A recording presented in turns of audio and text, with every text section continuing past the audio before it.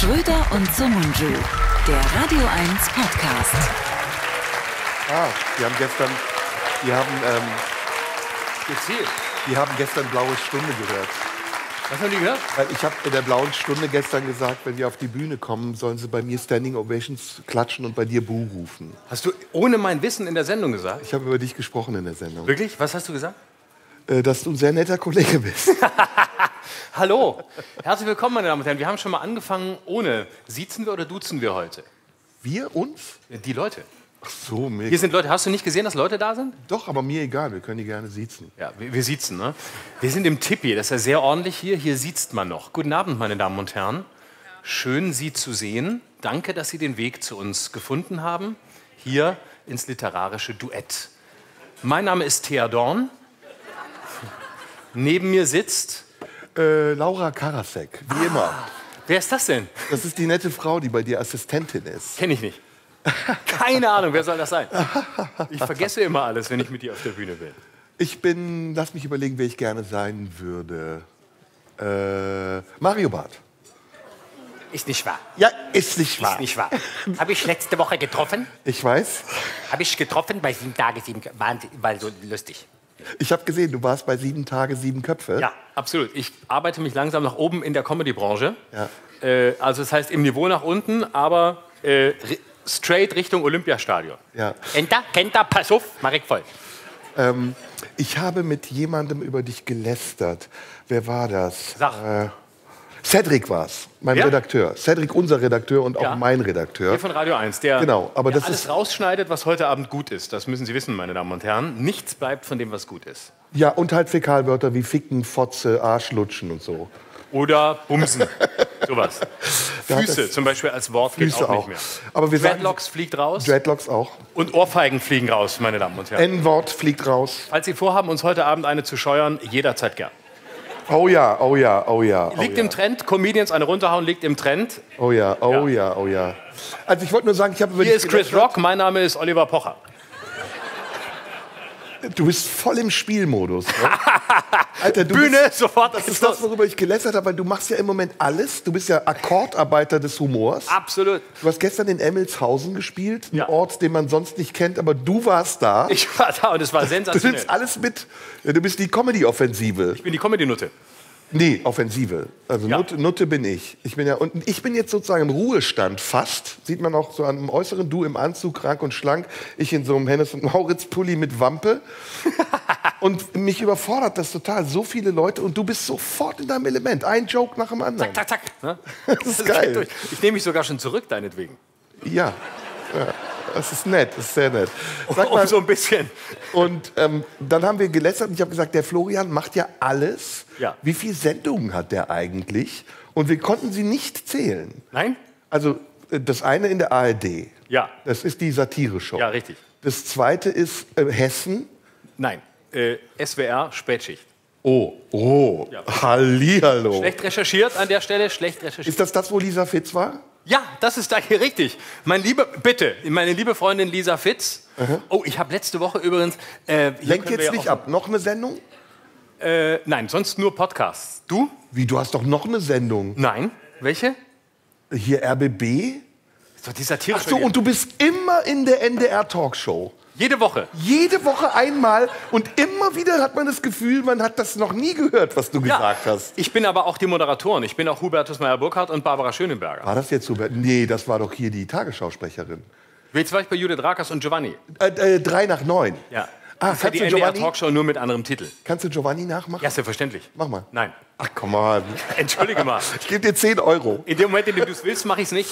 Ich gebe dir 20 Euro, also so viel, wie wir mit unserem Podcast verdienen, wenn du einmal Lauterbach nachmachst. Nein, ich bin nicht bestechlich, es tut mir leid. Lauterbach nur, wenn ich mittags um 12 am Sonntag hier bin, wenn das Publikum da ist, das weiß, wer Karl Lauterbach ist. Okay, gut. Aber das ist jetzt auch ein Versprechen, ne? Ja, vielleicht nachher. Jetzt kommen wir zum Thema. Du wolltest sagen, Ohrfeige, Pocher. Nein, lass uns noch kurz, äh, äh, was wollte ich, noch- was wollte ich noch sagen? Wir waren gerade bei einem äh, spannenden Punkt stehen geblieben. Äh, Lisa Fitz. Ah, oh, ich habe letzte Woche ähm, habe ich, ich mo- moderiere, oh, oh, hast noch was vergessen? Ich moderiere für den SWR jedes Jahr den Stuttgarter Besen, das ist so ein Nachwuchswettbewerb. Und dann habe ich, als die Kameras aus waren, während die Jury tagt und ich nur für den Saal moderiert habe, habe ich gesagt, so meine Damen und Herren, jetzt gleich erleben Sie zehn fein gedrechselte Witze über Lisa Fitz, die ich noch nirgendwo erzählt habe. Und dann bin ich aber nur zu einem gekommen, weil dann war die Jury schon fertig. Und ähm, dann habe ich nur geschafft zu sagen, meine, weil ich darf eigentlich keine Witze machen beim SWR über Lisa Fitz, das hat man mir untersagt. Echt? Ja, und äh, dann habe ich aber in der Pause habe ich gesagt, so meine Damen und Herren, jetzt gleich folgt hier äh, Covid-Tote persönlich zusammengezählt von Lisa Fitz. Oh. Ja, und das hat aber sehr gut funktioniert. ne? Ja. Also besser als hier, weil hier war es angekündigt und jetzt haben die Leute mehr erwartet, als ich bieten konnte. Ich habe gestern auch eine Nummer gemacht in der Blauen Stunde. Da habe ich über kulturelle Aneignung gesprochen. Mit Da wollte ich auch mit dir drüber reden. und habe dann so einen kleinen Wutanfall bekommen, weil ich gesagt habe, kulturelle Aneignung ist zum Beispiel auch, dass Völker, die wir als Türken unterdrückt haben, unsere Gerichte geklaut haben und selbst umbenannt haben, wie zum Beispiel Tzatziki. Tzatziki kommt aus der Türkei. Und das haben die Griechen geklaut und wir haben es Cacık genannt, wobei wir Türken auch von den Arabern wieder zum Beispiel Kebab geklaut haben. Oder von Türken den klauen? Indern. Ja, ja, Türken klauen. Erst unterdrücken sie, dann klauen sie. Aber dann ist mir aufgefallen, dann ist mir aufgefallen, der ganze Islam ist eigentlich in der Türkei eine kulturelle Aneignung. Weil Türken kommen aus Zentralasien, die waren Schamanisten und jetzt sind die plötzlich Moslems. Also da müsste sich eigentlich Fridays for Future ärgern, ne? Über die Eigentlich Türkei. müsste Fridays for Future Türken ausladen von allen Demonstrationen. Aber das trauen die sich nicht. Nee, das trauen sie sich. nicht. Weil wir Türken sind ja die schlechtesten Ausländer, die es gibt. Warum? Weil wir genauso Nazis sind wie die Deutschen. Aber schlimmere. Selbstbewusstere. Zu Recht. Ein, ein Wirt in einem Restaurant, in dem ich lange essen war, der selbst Türke war, sagte 2015 mitten während der Flüchtlingskrise, soll ich dir was sagen? Was wollen die Syrer hier? Was wollen sie? Ich verstehe es nicht. Ich verstehe nicht, wa- warum kommen sie hier hin? Sie sind doch keine Deutschen. Sie sollen bleiben, wo sie sind. Ich will sie hier nicht. Ich will sie nicht. Ich bin damals gekommen, ja, aber das war was anderes. Ich bin da, weil ich bin schon da. Ich Woher bin ja kam der? quasi deutsch. Woher aber kam der? was wollen sie? Sie sollen gehen. Woher kam der? Libanon. Nee, wahrscheinlich Antalya. Dann habe ich ein anderes Beispiel gehabt, auch kulturelle Aneignung. Du gehst zum Italiener und ich hasse es ja, wenn man beim Italiener auf Italienisch angesprochen Ja. wird. Ciao, was kann ich euch bringen? Ich habe super Pizza heute hier mit Rucola, ein bisschen Parmesan. Möchtest du ein bisschen Tabaki für dich? Und dann sagst du, woher kommen sie? Kosovo. So, der Kosovo-Albaner denkt, dass er was Besseres ist, wenn er sich als Italiener ausgibt. Oder auch hier Pizzataxi. Du rufst da an, sagst, äh, Sushi bitte. Ja, was möchten Sie für Sushi haben? Ja, hier, Sushi. Äh, und dann stellt sich raus, der ist Vietnamese. Vietnamesen denken, sie sind bessere Japaner. Oder sie geben sich aus als Japaner, weil sie denken, die Japaner sind besser. Wobei die Japaner auch wieder kulturell sich was aneignen. Teppanyaki, kennst du das? Ja. Das ist Barbecue. Die haben Pearl Harbor bombardiert und machen jetzt Barbecue und nennen das Teppanyaki. Das ist das Mieseste, was es gibt. Ja. Ich rufe immer an, wenn ich, beim, wenn ich beim Vietnamesen anrufe, dann bestehe ich darauf, dass jemand rangeht und sagt, ja, warte mal bitte. Oh, Vorsicht, bei Radio 1 gibt es sofort Beschwerden. Na, ist mir scheißegal. Das ist asiatenfeindlich. Da habe ich schon mal eine Rüge für bekommen. Wirklich? Ja, was möchtet ihr bestellen? Oh ja. Was möchtet ihr bestellen? Aber- da, äh, haben Sie auch Pizza? Ja, Pizza. Haben Sie auch äh, indisches Curry? Indische Curry haben wir auch. Mit was für Fleisch? Rindfleisch, Schweinefleisch, Hühnerfleisch. Sofort Ärger, Ja. Riesenärger. Jetzt noch ein Witz über Lisa Fitz und die Nummer ist gelaufen. Aber es ist wirklich so, ich rufe an, ich möchte, ich erwarte das. Also ich bin einfach deutscher Kunde. Und bevor sich jetzt jemand aufregt, der den Podcast dann übermorgen hört, wenn er geschnitten sein wird, weil wir hier viereinhalb Stunden heute Abend machen. Und das, das ist in öffentlich-rechtlichen Medien nicht zu schneiden, was wir machen, meine Damen und Herren. Das dauert mindestens drei Tage. Weil es wird nach Tarif bezahlt und die, die Arbeitszeit endet nach acht Stunden um 17 Uhr, wird die Schere fallen gelassen. Das heißt, es dauert, bis das online ist. Und dann kann noch alles rausgeschnitten werden. Aber ich sage ganz offen, ich mache, ich mache das mit dem Anruf nicht aus so einer Unmittel Unmittelbarkeit, weil ich sage, ja, sondern ich möchte das. Ich bin deutscher Kunde und als arisch, äh, als, als, äh, das sagt man nicht mehr. Man sagt als biodeutscher Kunde, sagt man heute, als biodeutscher Kunde und heimliches AfD-Mitglied und Alice Weidel Fanboy, rufe ich an und wenn ich was Internationales bestelle, dann möchte ich, dass da, wo ich anrufe, zu mir gesagt wird, hallo, warte mal bitte. So, das möchte ich. Das ist wie wenn ich anrufe beim Taxi und, und ein Taxi bestelle über FreeNow, dann möchte ich, dass der Fahrer, da gehe ich so lange nicht raus, bis der Fahrer angerufen hat und zu mir sagt, hallo, haben Sie Taxi bestellt? Hallo, haben Sie bestellt? Dann sage ich, ja, ich stehe unten, ich weiß, ich komme gleich. Sie sind nicht da. Ja, ich bin ja auch noch oben. Warum sind Sie nicht da? Ich warte nicht. Sie müssen warten, ich bin der Kunde. Nein, ich warte nicht. Doch, Sie warten. Und so mache ich das durchgehend. Ich lasse mich nur anrufen, weil ich sagen möchte, hallo, haben Sie Taxi bestellt? Alle Taxifahrer sagen, hallo, haben Sie Taxi bestellt? Und wenn es Berliner sind, sagen sie das nicht, dann sagen sie, Sie sind nicht da, ich fahr jetzt weg. Das ist der Unterschied. Ich habe das auch und ähm, ich habe plötzlich das Gefühl, wir müssen ein Programm machen. Wir unterhalten uns gar nicht normal. Aber ist ja egal, macht ja auch Spaß. Ja, Ähm, aber wir können ja so langsam so durch. ja, ich arbeite noch ein paar alte Karlauer aus an, alten Programmen ab. Ich nur aus ich, neuen. Ich habe hab zum Beispiel früher gerne bei so, bei so Hotlines angerufen. Ja. Und ähm, ich hasse das ja, wenn man mit der Maschine sprechen muss. Also wenn einen diese Maschine zwingt, was zu sagen. Herzlich willkommen bei der Hotline der Deutschen Telekom. Äh, wenn Sie möchten, dass Sie technisch beraten werden, sagen Sie eins. Und da kannst du auch nicht die eins drücken. Da musst du im leeren Wohnzimmer eins sagen. Vielen Dank. Möchten Sie eine Kundenberatung oder möchten Sie bestellen? Sagen Sie bestellen, wenn Sie bestellen möchten, Kundenberatung, wenn Sie Kundenberatung wollen. Kundenberatung. Das hast du alleine in deinem Wohnzimmer. Und dann kommt irgendein Russe, jetzt kann man ja heutzutage sagen, Russe an der Apparat. Russe kann man immer machen. Ganzen Hotlines nur Russen. Ja. Herzlich willkommen, äh, Deutsche Telekom. Wie kann ich Ihnen helfen? Jetzt. Russen ganz schlimm, darf man Dann jetzt sagst sagen. du, eins!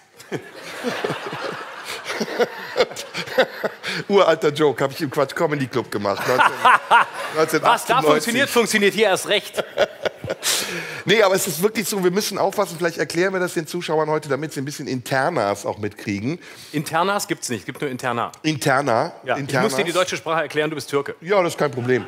Ja. In, also damit sie interna Gratis Dienstleistung. Was ist? Gratis, nee, nichts gesagt. Also Deutsch sprichst du gut, nur sehr schnell. Ja. Finde ich persönlich. Bin zu schnell für einen Deutschen, ne? Nee, du sprichst sehr, du wie ein Maschinengewehr. Ja, das ist mein Problem. Macht mir immer Angst. Also wir machen es so, wenn wir Schlanker uns, werden, schneller sprechen. wenn wir uns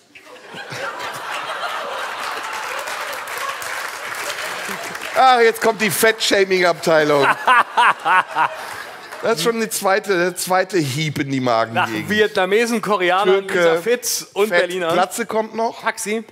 Taxi kommt auch. Nee, Taxi hast du schon. Hatten wir aber schon. Ich, ich muss ja diskriminiert werden. Ja, na, richtig. Ich habe übrigens sowieso vor, äh, einen offenen Brief zu schreiben an Radio 1, Und zwar? Mit welchem Inhalt? dass du mich diskriminierst. Finde ich gut. Hier, heute live, vor 360 willigen deutschen zahlenden Zuschauern, Darfst den- werde ich von dem Nazi-Pack natürlich verlacht, weil ich mit dem wenigen Geld, das ich habe, einfach hamstere und mir ein Sicherheitspolster angewöhnt habe, auch um dich zu absorbieren. Sagt man absorbieren oder absorbaren? Absorbaren. Okay. Absorbationieren. Also ich wollte ein paar Interna erzählen. Wir, wir machen das immer so, wenn wir aufnehmen. Wir wissen ja, das kann man hier sagen, ne? ist zwar jetzt Was denn? Radio Ich 1. kommt darauf an, was du sagen willst. Dann kann ich sagen, ob du wir sagen wissen ja, kannst. dass wir gegengehört werden. Ja. Und dass jemand Von den wie, Hörern. wie Ulrich Mühe eigentlich in das Leben der anderen, ähm, dass jemand dabei sitzt und immer aufpasst, was sagen die jetzt. Und manchmal erlauben wir uns den Spaß, wenn wir schon fast durch sind, noch mal so eine Fotzen-Etappe einzubauen. Ne? Ja. Nachdem wir sehr gefühlvoll über Leidenschaft, Sehnsucht und Sex geredet haben, kommt dann am Schluss noch mal wirklich so... Nur noch Pipi-Kaka. Genau, ja. Das Und dann dauert es auch meistens länger, bis wir die Kopie der Sendung zugeschickt bekommen. Ja. Wenn wir das so. heute machen, dauert es noch länger. Ja, aber es wird funktionieren. Sind aber wir heute live? Nee, ne? Nee, man zeichnet uns auf. Wir sind, wir, sind schade. absolut, wir sind nicht live sendbar. Das geht nicht. Schade. Also, es sind sehr viele Kameras aufgestellt. Normalerweise macht Radio 1 nur Video-Livestream, aber heute ist live verboten worden. Heute ist nur Videostream im Nachhinein, falls wir was sagen, was nicht, was nicht gesendet werden kann. Aber Wosch darf live senden. Wosch darf live senden, weil man da glaubt, man kriegt es nicht mit. Aber bei uns kriegt man es mit. Aber der ist mindestens genauso ein Arschloch wie wir. Schlimmer. Finde ich auch, oder? Ja, finde ich Kennst auch. du den? Ja, Ich kenne den gar nicht. ich kenne den. Ich habe jetzt nur Arschloch gesagt auf Verdacht, dass jemand klatscht. Funktioniert aber nicht. Doch, guck, da klatschen welche. Da oben. Fühlt sich irgendjemand schon diskriminiert? Nein? Ja gut, Oh, Radio 1 ist ja dafür Mitarbeiter bezahlt. sind auch da. Ja. Die fühlen sich sofort diskriminiert. Radio 1 wird ja dafür bezahlt, dass sie diskriminiert werden, ne? Masochismus, purer Masochismus. Gebührengelder. Masochistischer Sender. Hast du Robert Skopin schon nachgemacht? Nein, Das machen wir nachher noch, ne? später. Ich finde, wir sollten noch eine Etappe Parodien einbauen. Unbedingt, so eine kleine Parodie-Jukebox. Auf jeden Fall. Leute dürfen Namen reinrufen, ich mach sie. Oh! Das ist schön. Das ist was Neues, weil du weißt, wo ich hin will. Ich bin bei sieben Tage, sieben Köpfe. Das heißt, ich werde Jörg Knörr 2.0. Das war immer klar. ne? Bald mache ich Inge Meisel nach. Wenn Nur ein man, ganz kleiner Schritt. wenn man genug trinkt, Ja. kriegt man von dem, was du sagst, ganz wenig nur mit. Das, weil das ist so schnell, dass die Synapsen gar nicht mehr nachkommen. Blöd, dass du so langsam trinkst. Ich hab, guck mal, ich trinke schon aus dem Wasserglas Wein, hab aber so pro forma hier so ganz fein hier was eingeschüttet. Ja. Oh Gott, oh Gott. So, jetzt lass uns mal Jetzt komm, let's go. einsteigen. Wir Jetzt müssen komm. vielleicht den Leuten sagen, dass wir uns hier kennengelernt haben. Wir beide? Ja. Nein, wir kannten uns vorher. Wir kann uns vor. Du Quatsch, sprichst komm, so ich- schnell. Na, na, na. Du machst mich jetzt Ich nach. denke schnell, das ist ein Ich Unterschied. wollte ein bisschen langsamer sein und den, jetzt in den romantischen Teil des Abends einsteigen. Wir beide haben uns hier kennengelernt, ähm, als du in einer meiner 500 Sendungen zum ersten Mal zu Gast warst. Da haben wir uns professionell kennengelernt. Stimmt nicht, Schatz. Vorher wir haben wir uns uns kennengelernt im privat. Quatsch Comedy Club. Ach stimmt, das haben wir neulich, ja, als, als wir Ja, dabei wir haben uns kurz nach deiner Entfettung haben wir uns im Quatsch. Ja. Wissen Sie, wie er aussah früher und mir vorwirft jetzt, ich hätte ja. eine Wampe? Also nach meiner Entfettung vor seiner Verfettung. Gucken Sie sich bitte mal an, wie er bei. Harald Schmidt bei Schmidt einander aufgetreten ist. Als 14-jähriger Rüpel, schwer erziehbar, ADHS Ja, gestellt. absolut alles. Was hast du da an auch? Ja, Ritalin. Ist das eine Baggy Klamotten. Pant oder ein Strampelanzug? Also du siehst da aus und dann machst du auch noch Helmut Kohl nach. Und das, was ihm am ähnlichsten ist, ist deine Figur. Natürlich, ja. Ich war, ich war auf dem Weg, Helmut Kohl zu werden und nicht sein Parodist. Ne? Das war mein Weg. Okay, wir wollten jetzt ernst werden. Also Ja. wir haben uns kennengelernt im Quatschclub. Quatsch Comedy Club zum ersten Mal, genau. Bei, bei Thomas Hermanns. Ja. aber das haben wir gerade vor zwei Folgen erst erzählt, das erzählen wir heute nicht nochmal. Schlimm, die Leute haben die Folgen ja nicht gehört. Ja, aber die, die es nachher hören, die haben es gehört. Spielen wir für die Leute oder für die Leute, die uns morgen hören? Für die Leute, die uns morgen hören. Das hier ist nur Klatsch, wie das Eintritt bezahlt hat. So habe ich es bei RTL vor zwei Tagen gelernt. Okay, okay. Der Saal ist egal. Okay, dann, nee, dann scheiß mal auf den Saal. Dann scheiß mal auf den Saal. Das sagt man übrigens beim, wollen wir das vielleicht auch mal sagen, beim Privatfernsehen sagt man das wirklich, das Publikum heißt Klatschvieh beim Fernsehen. Und man sagt wirklich, beim Privatfernsehen, der Saal ist egal. Wenn sie es nicht raffen, scheißegal, wir belachen es, es geht um die Leute zu Hause. Und wenn die das Gefühl haben, der Saal hat gelacht, dann lachen die zu Hause auch.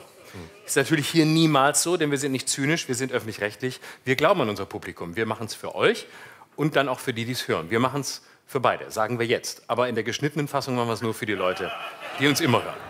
Also wir machen es auf jeden Fall. Ja, genau. So, jetzt im Quatschclub nochmal. Da waren wir vor 10, 12, 15 Jahren. Ja. Du hattest einen Kurzauftritt, ich hatte einen Kurzauftritt. Man muss das erklären. Das haben wir schon gesagt. Aber komm, wir erklären es jetzt nochmal. Ist doch egal. Ja. Das ist alles redundant. Versendet sich. Ähm, man hatte da an einem Wochenende fünf Auftritte, kann das sein? Ja. Freitag, Samstag und Sonntag drei oder zwei? Donnerstag, Freitag, nee, sogar Mittwoch bis Sonntag, oder? Donnerstag, Nee. Freitag, Samstag, Sonntag. Genau. Und es Vier gab, Tage. es gab weniger Geld als beim RBB. Ja. Das weiß ich noch. Absolut. Und es gab das Versprechen, wenn es voll ist, kriegt er noch ein bisschen was obendrauf. Es war immer voll und es kam nie was um. Es kam nie was. Und äh, man musste sich malträtieren lassen. Erstens von den Leuten, die da gearbeitet haben, allem voran Thomas Hermanns, der zu mir mal gesagt hat, not funny. du, du trittst im Quatsch Comedy Club auf und der Chef sagt dir, not funny. Ja. Dann weißt du, okay, du hast was richtig gemacht. Soll ich noch mal meine erste Begegnung mit Thomas Hermanns erzählen? Ja, erzähl. Nach dem Quatsch Comedy Club. Bei mir war er nie da, als ich da aufgetreten bin. Damals gab es noch die Fernsehsendung bei Pro7 äh, und da wollte man rein. Und deswegen ist man in die Mixed-Shows gegangen. Man wollte unbedingt in die Fernsehsendung und äh, meistens kam man da aber nicht rein, weil damit wurde man nur gelockt. Und dann trat man da auf und Thomas Hermanns war nie da, als ich da war. Und ich traf ihn dann in einem bekannten Kölner Hotel. In Das hast du letzte Woche schon erzählt. dann lasse ich das weg. Aber Nö. du wolltest doch gerade, äh, dass ich es nochmal erzähle, weil die Leute hier Das können wir haben's eh nicht rausschneiden, ist ja egal. wir schneiden es raus, genau. Und dann stand Thomas Hermanns im Aufzug und dann habe ich ihn gefragt, wann ich denn mal in, in die Sendung kommen darf. Und dann hat er mich angeguckt und gesagt, was willst du von mir? Was willst du von mir? Was quatschst du mich von der Seite an? Ist der so tuntig? Nicht unbedingt, aber er, er hat es, glaube ich, gespielt. Er wollte so ein bisschen... Äh, Ah, ich weiß das. Ja, das ist die Metaebene. Ja. Da spielt er eine Tunte. Ist er nämlich nicht. Er spielt es nur, um, den, um, die, um mir zu sagen, also bitte, Junge, Oh Gott. Junge, bitte, Oh was Gott. willst du von mir? Und dann kam ich nie in die Sendung, aber selber schuld. Aber da haben wir uns auf jeden Fall kennengelernt. Und ähm, ich weiß noch, dass du, äh, Ich habe gepöbelt. wie immer, Ich, aber heute? nee. Ja gut, du bist auch 20 Jahre älter. Als damals? Stimmt. weißt du? Das ist was anderes. Heute bist du ja ein milderer, älterer Herr. Ja, aber ich hasse das Publikum immer noch wie damals. Ja, ich weiß. Aber du kannst es besser verbergen.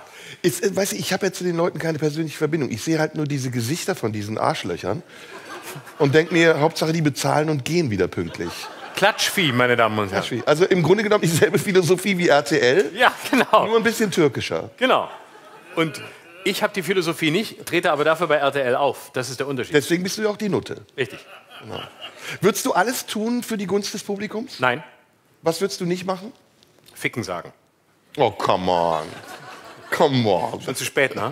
Ist schon passiert, oder? Scheiße. Ich meine, du tust ja schon alles für die Gunst des Publikums. Nein. Du warst gestern in Emmelshausen, Digga. Ja. Ich musste das, ich musste das abspielen.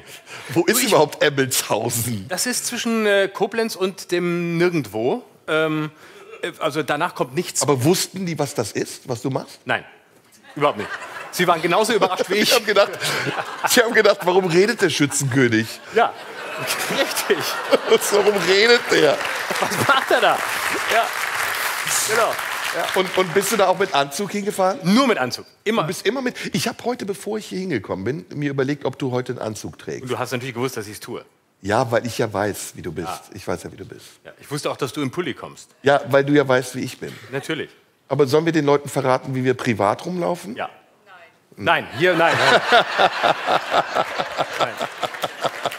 Das Publikum ist der Regisseur, also nein, wir erzählen nichts von uns privat. Also privat laufen wir ganz. Du, du bist ja häufig sehr gut gekleidet privat. Ja, Ja. auf jeden Fall. Sehr, sehr gut. Ja. Ich laufe wirklich rum wie die letzte Drecksau. Und Du läufst, du hast einen guten Stil, das muss ich schon sagen. Ja? Du hast privat einen hervorragenden Stil. Ja? Auf der Bühne nicht so. Ja?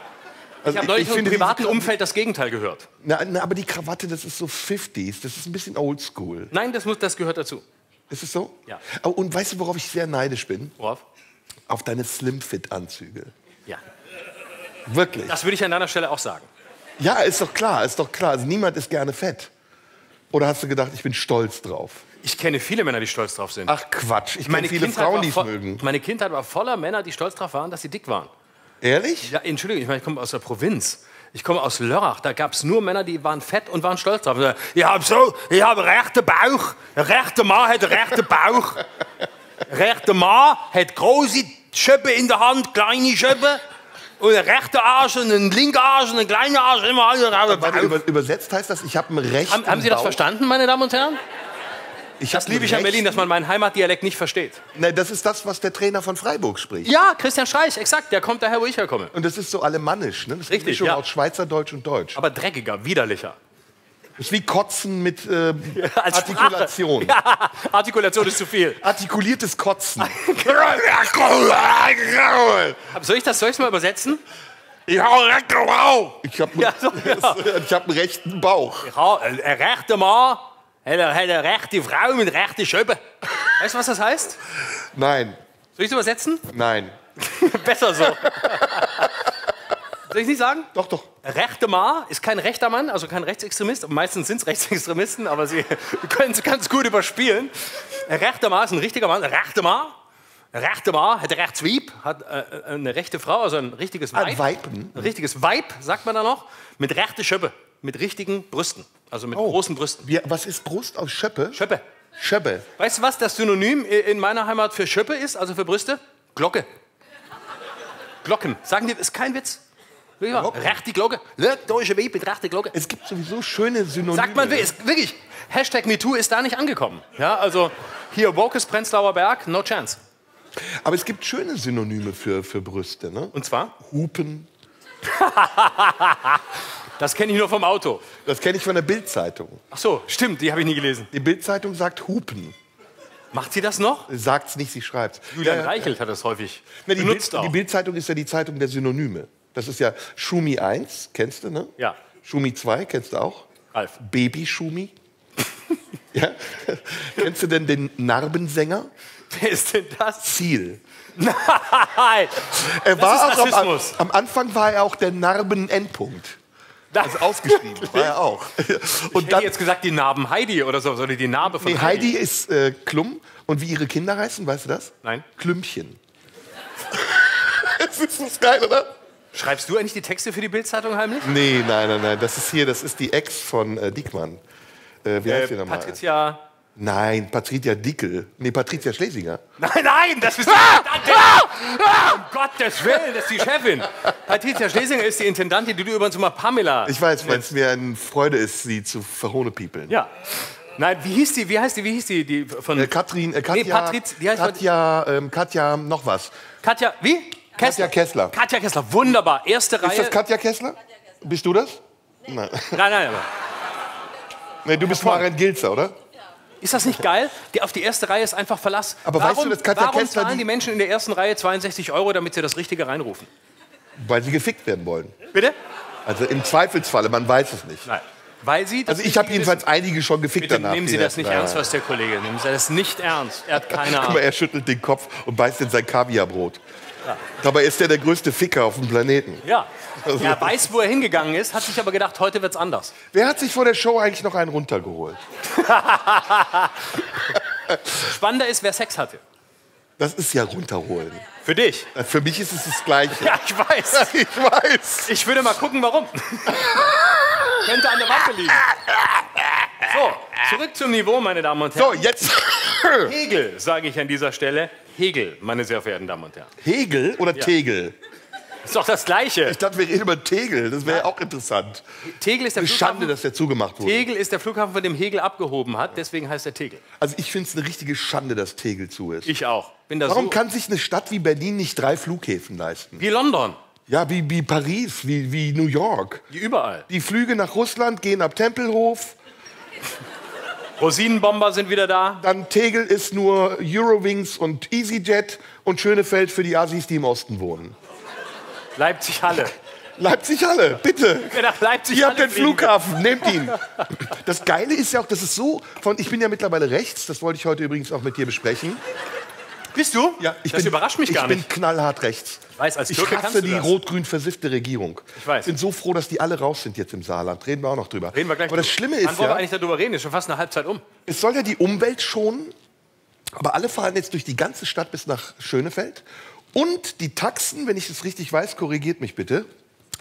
Die Berliner Taxen dürfen nur dahin fahren, aber zurück müssen sie eine Leerfahrt machen. Ja.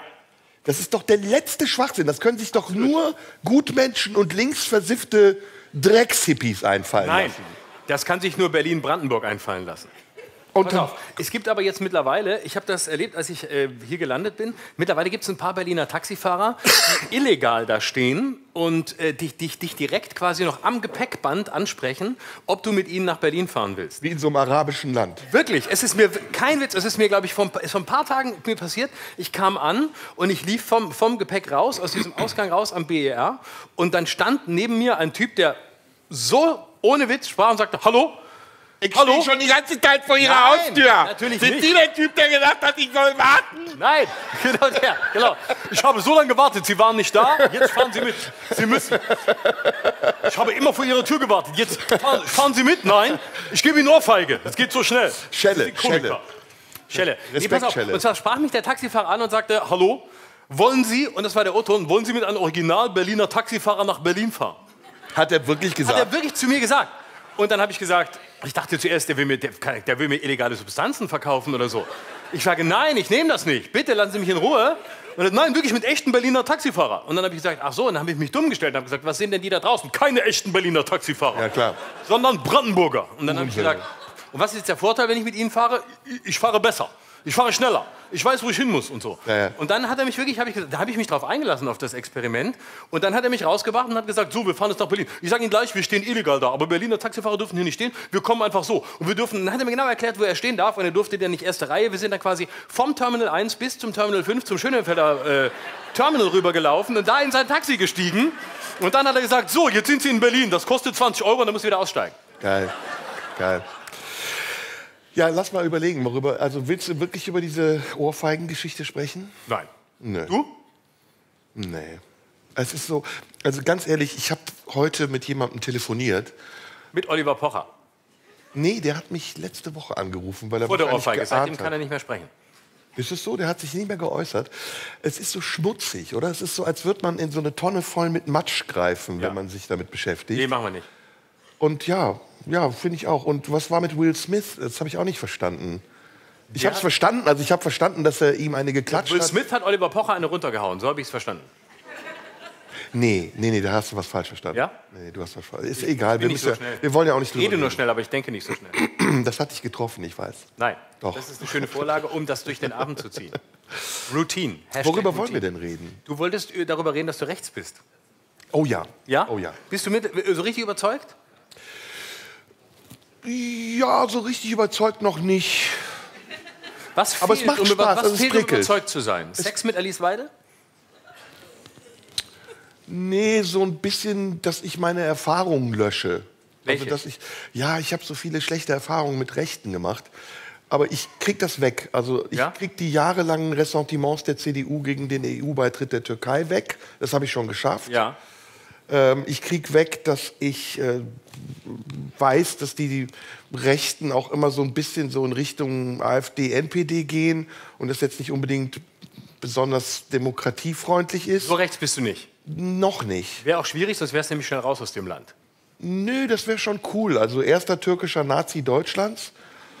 Du wärst nicht der Erste. Wer wäre es denn vor mir? Der Wirt, von dem ich dir vorhin erzählt habe. Was wollen Sie hier? Der war doch Libanese. Nein, was wollen Sie hier, die, was wollen Sie, die Syrer? Was wollen Sie? Na, jetzt mal ganz ernst, also mh, mal abgesehen jetzt von rechts und links, wollen wir, wir, wir machen mal ein bisschen ernst, oder? Wir haben ja noch ein bisschen Zeit. Ja. Ähm, fragst du dich das nicht auch, rhetorische Frage, ob diese, diese Zuordnungen, die man sich selbst immer gegeben hat, weil man natürlich Ideale hat und weil man eine bestimmte Weltansicht hat, ob die sich nicht verändern und wodurch sie sich verändern? Also bei mir ist eine Vermutung natürlich so wie bei vielen anderen Menschen auch das Alter. Ja, naheliegend. Ja, und der Lebensstandard, den man irgendwann erreicht. Man kann sich Dinge leisten, die man sich vielleicht nicht leisten konnte als, als junger Mensch.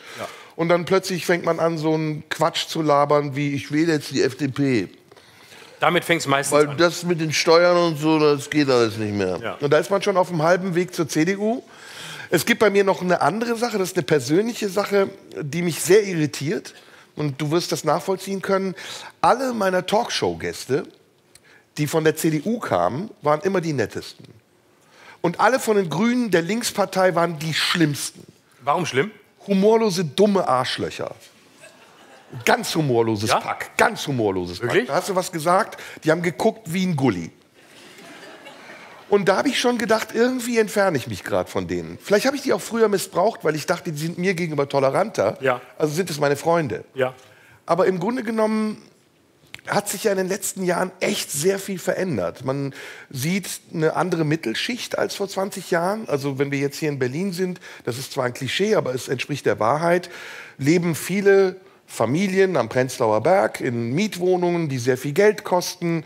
Das sind zum Teil Wohnungen, die enteignet wurden und diese ganze Gentrifizierung, diese, das Umstülpen der Stadtviertel, das ist ja schon so weit fortgeschritten, dass man in Berlin kaum noch für einen fairen Mietpreis wohnen kann. Ja. Und andere Leute, die eigentlich die Arbeiterklasse vertreten, also das klassische linke Klientel, die werden immer mehr nach außen geschoben. Die wohnen in, keine Ahnung, Hohenschönhausen, in Marzahn, in, keine Ahnung, irgendwo weit außerhalb. Und das ist ja eigentlich paradox. Also das entspricht ja gar nicht mehr den Idealen, die wir früher diesen politischen Richtungen zugeordnet haben, sondern sie haben sich vollkommen umgestülpt und ins Gegenteil verkehrt. Und wenn du siehst, wie dann auch öffentliche Debatten mittlerweile stattfinden, die mich sehr an die McCarthy-Area erinnern. Also äh, nicht nur Zuordnungen, sondern Verdächtigungen, Verurteilungen, äh, regelrechte Hetzjagden gegen Menschen, die andere Meinungen haben und kaum noch die Möglichkeit, seine Meinung zu vertreten, ohne dafür sanktioniert zu werden oder massiv angegriffen zu werden, dann stellt das mein, jedenfalls mein komplettes Wertesystem in Frage. Und ich will natürlich nicht rechts sein, weil ich mit rechts seit meiner Geburt oder seitdem ich denken und sprechen kann, immer etwas sehr Negatives und Hässliches verbunden habe. Aber irgendwie will ich auch nicht mehr so links sein wie die Leute, die ich gerade beschrieben habe. Wie ist es bei dir? Also, Du siehst voll aus wie ein Rechter, ich sehe aus wie ein Hippie. du bist ein Rechter, ich bin ein Hippie. ja, ist so. Ja, man darf sich nie von Äußerlichkeiten täuschen lassen. Ja. Ähm, ich würde sagen, ich finde, fand spannend deine, An deine Ankündigung, äh, du seist rechts. Ich dachte, jetzt äh, kommt mehr und ein größeres Outing. Ähm, aber jetzt spüre Nee, warte, das war nur der Anfang. Ich bin auch noch Putin-Versteher, das kommt auch noch dazu. dann bist Aber du ja wieder links. Bist du links und rechts? Das ist ja Hufeisen. Ich bin extrem links wahrscheinlich. Und extrem rechts und dann kannst du Putin verteidigen. Ja. Und Corona-Gegner kommt auch noch dazu. Aber das machen wir später. Das machen wir machen wir im zweiten Teil, wenn die Leute ein bisschen angewärmt sind. Ähm, ich würde von mir sagen, dass ich äh, eigentlich im tiefsten Innern politisch immer heimatlos war. Also Ich äh, habe mich nie einer bestimmten Partei im tiefsten Innern zugehörig gefühlt. Ich habe nie eine bestimmte Agenda verfolgt. Ich habe nie geglaubt, äh, dass in einer bestimmten äh, politischen Richtung äh, quasi ein Heilsversprechen steckt, das jemals realisierbar wäre. Äh, für mich war das eigentlich immer eher spannend auf so einer Metaebene zu beobachten und sich anzugucken, wie funktionieren die, wie argumentieren die, warum argumentieren die so, wie sie es tun. Und ähm, lange hatte ich Schwierigkeiten, mich in dieser analytischen Ebene einzuordnen und die in Ordnung zu finden, weil ich immer dachte, du musst dich bekennen. Also du musst dich bekennen, du musst, du musst jetzt mal sagen, wo du stehst, sonst bist du Opportunist, weil du nirgends stehst. Und ich habe sehr lange gebraucht, um anzunehmen, dass sozusagen das Nicht-Gemeinmachen mit einer bestimmten politischen Richtung nicht gar nicht heißt, opportunistisch zu sein, sondern wahrzunehmen, dass man einen anderen Blick auf die, auf die Themen hat. Aber parteipolitische Zuordnungen oder Zuordnungen in links oder rechts oder, oder liberal, mir erschien das immer zu langweilig und mir erschien das auch immer zu eng, weil ich immer dachte, es gibt sehr viele verschiedene Antwortmöglichkeiten in sehr vielen unterschiedlichen Bereichen. Da gab es natürlich Parteien, die mir näher waren. Also mir, waren, mir war alles, was Religion im Namen hatte, immer zuwider, ähm, weil ich einfach mit, mit äh, dem, dem Überbau christlich nichts am Hut habe. Und die waren mir natürlich auch immer am fremdesten von allen. Das war immer so. Aber trotzdem könnte ich deshalb nicht sagen, dass ich irgendwie, ähm, dass ich da irgendwo je eine Heimat gefunden habe.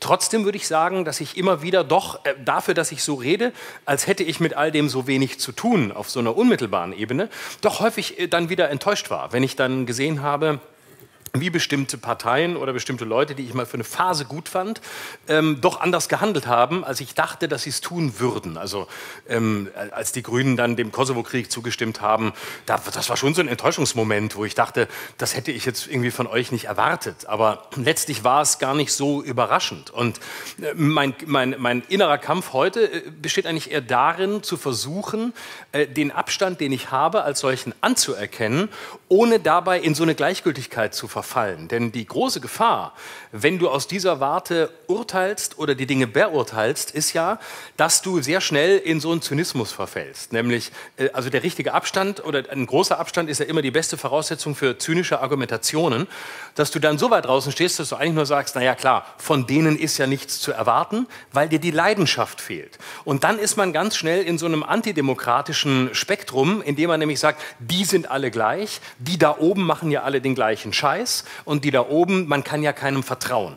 Und das finde ich die problematischste aller Positionen, weil damit bekennt man sich zu gar nichts mehr. Und damit widerspricht man eigentlich jedem demokratischen Konsens, indem man nicht mehr differenziert. Insofern versuche ich eine Mischung hinzukriegen aus einer Leidenschaftlichkeit in der Kritik, aber trotzdem einem gewissen Abstand, ohne mich irgendwo gemein zu machen. Ist übrigens auch die künstlerisch spannendste Perspektive, weil mich auch die Künstler immer am meisten beeindruckt haben, die sich nie gemein gemacht haben. Ich fand es immer langweilig, wenn ich wusste, wo ein Künstler steht. Da wusste ich schon, es ist jetzt wieder zu bewerten aus dieser oder jener Perspektive, die er einnimmt. Mhm. Ja, das war mein Ziel. Das war mein Ziel.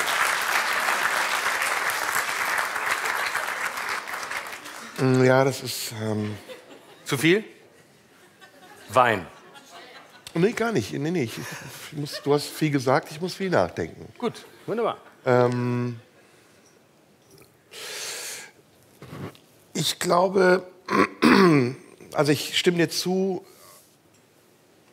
auch ich ähm, versuche mich unabhängig zu machen von dem, was andere oder andere Dynamiken mir unsichtbar vorschreiben, ob das jetzt soziale Dynamik ist oder ob das ähm, mein eigenes Zugehörigkeitsgefühl ist oder die Sehnsucht danach, mich zugehörig zu fühlen. Und ich will das jetzt mal unabhängig sagen von diesen Richtungen, die wir jetzt als, als Oberbegriffe genannt haben.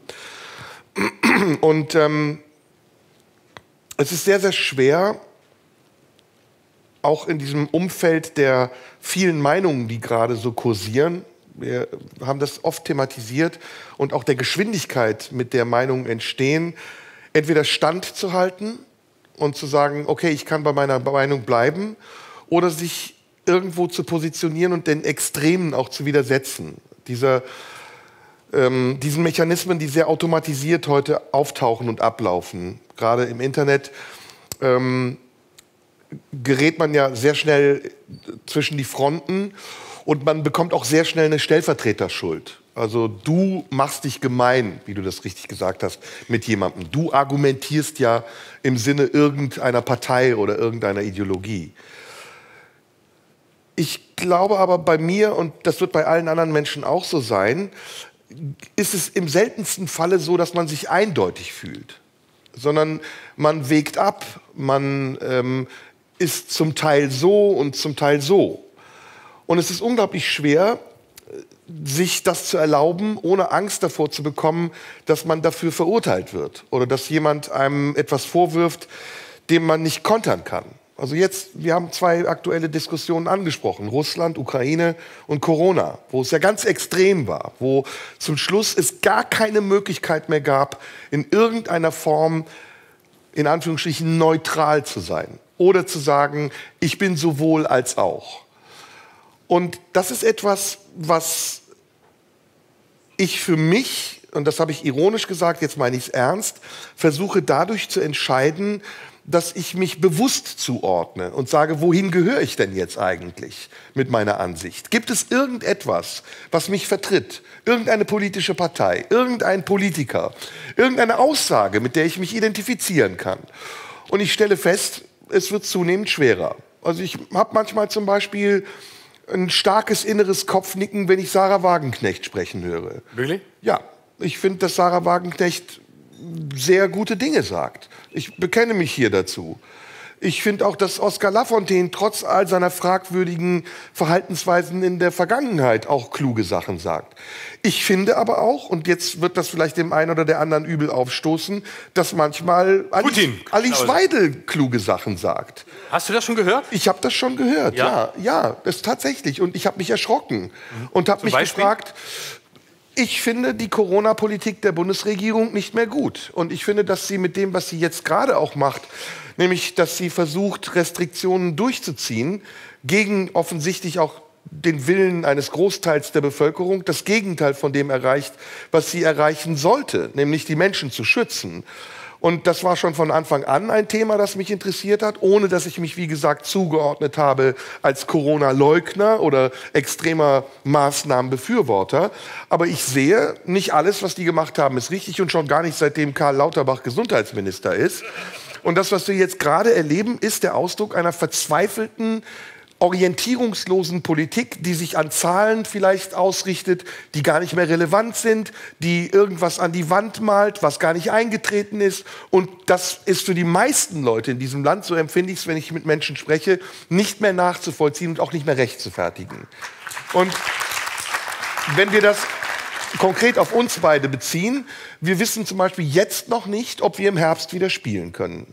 Und ich gebe dir noch ein Beispiel dazu.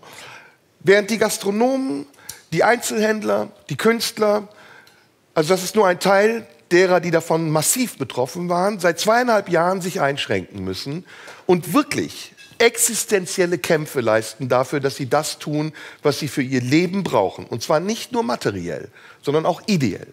Ich muss auf eine Bühne gehen und ich kann nicht mehr auf die Bühne gehen, weil irgendjemand mir sagt, es gibt eine unsichtbare Gefahr, vor der ich dich schützen muss. In Emmelshausen könntest du.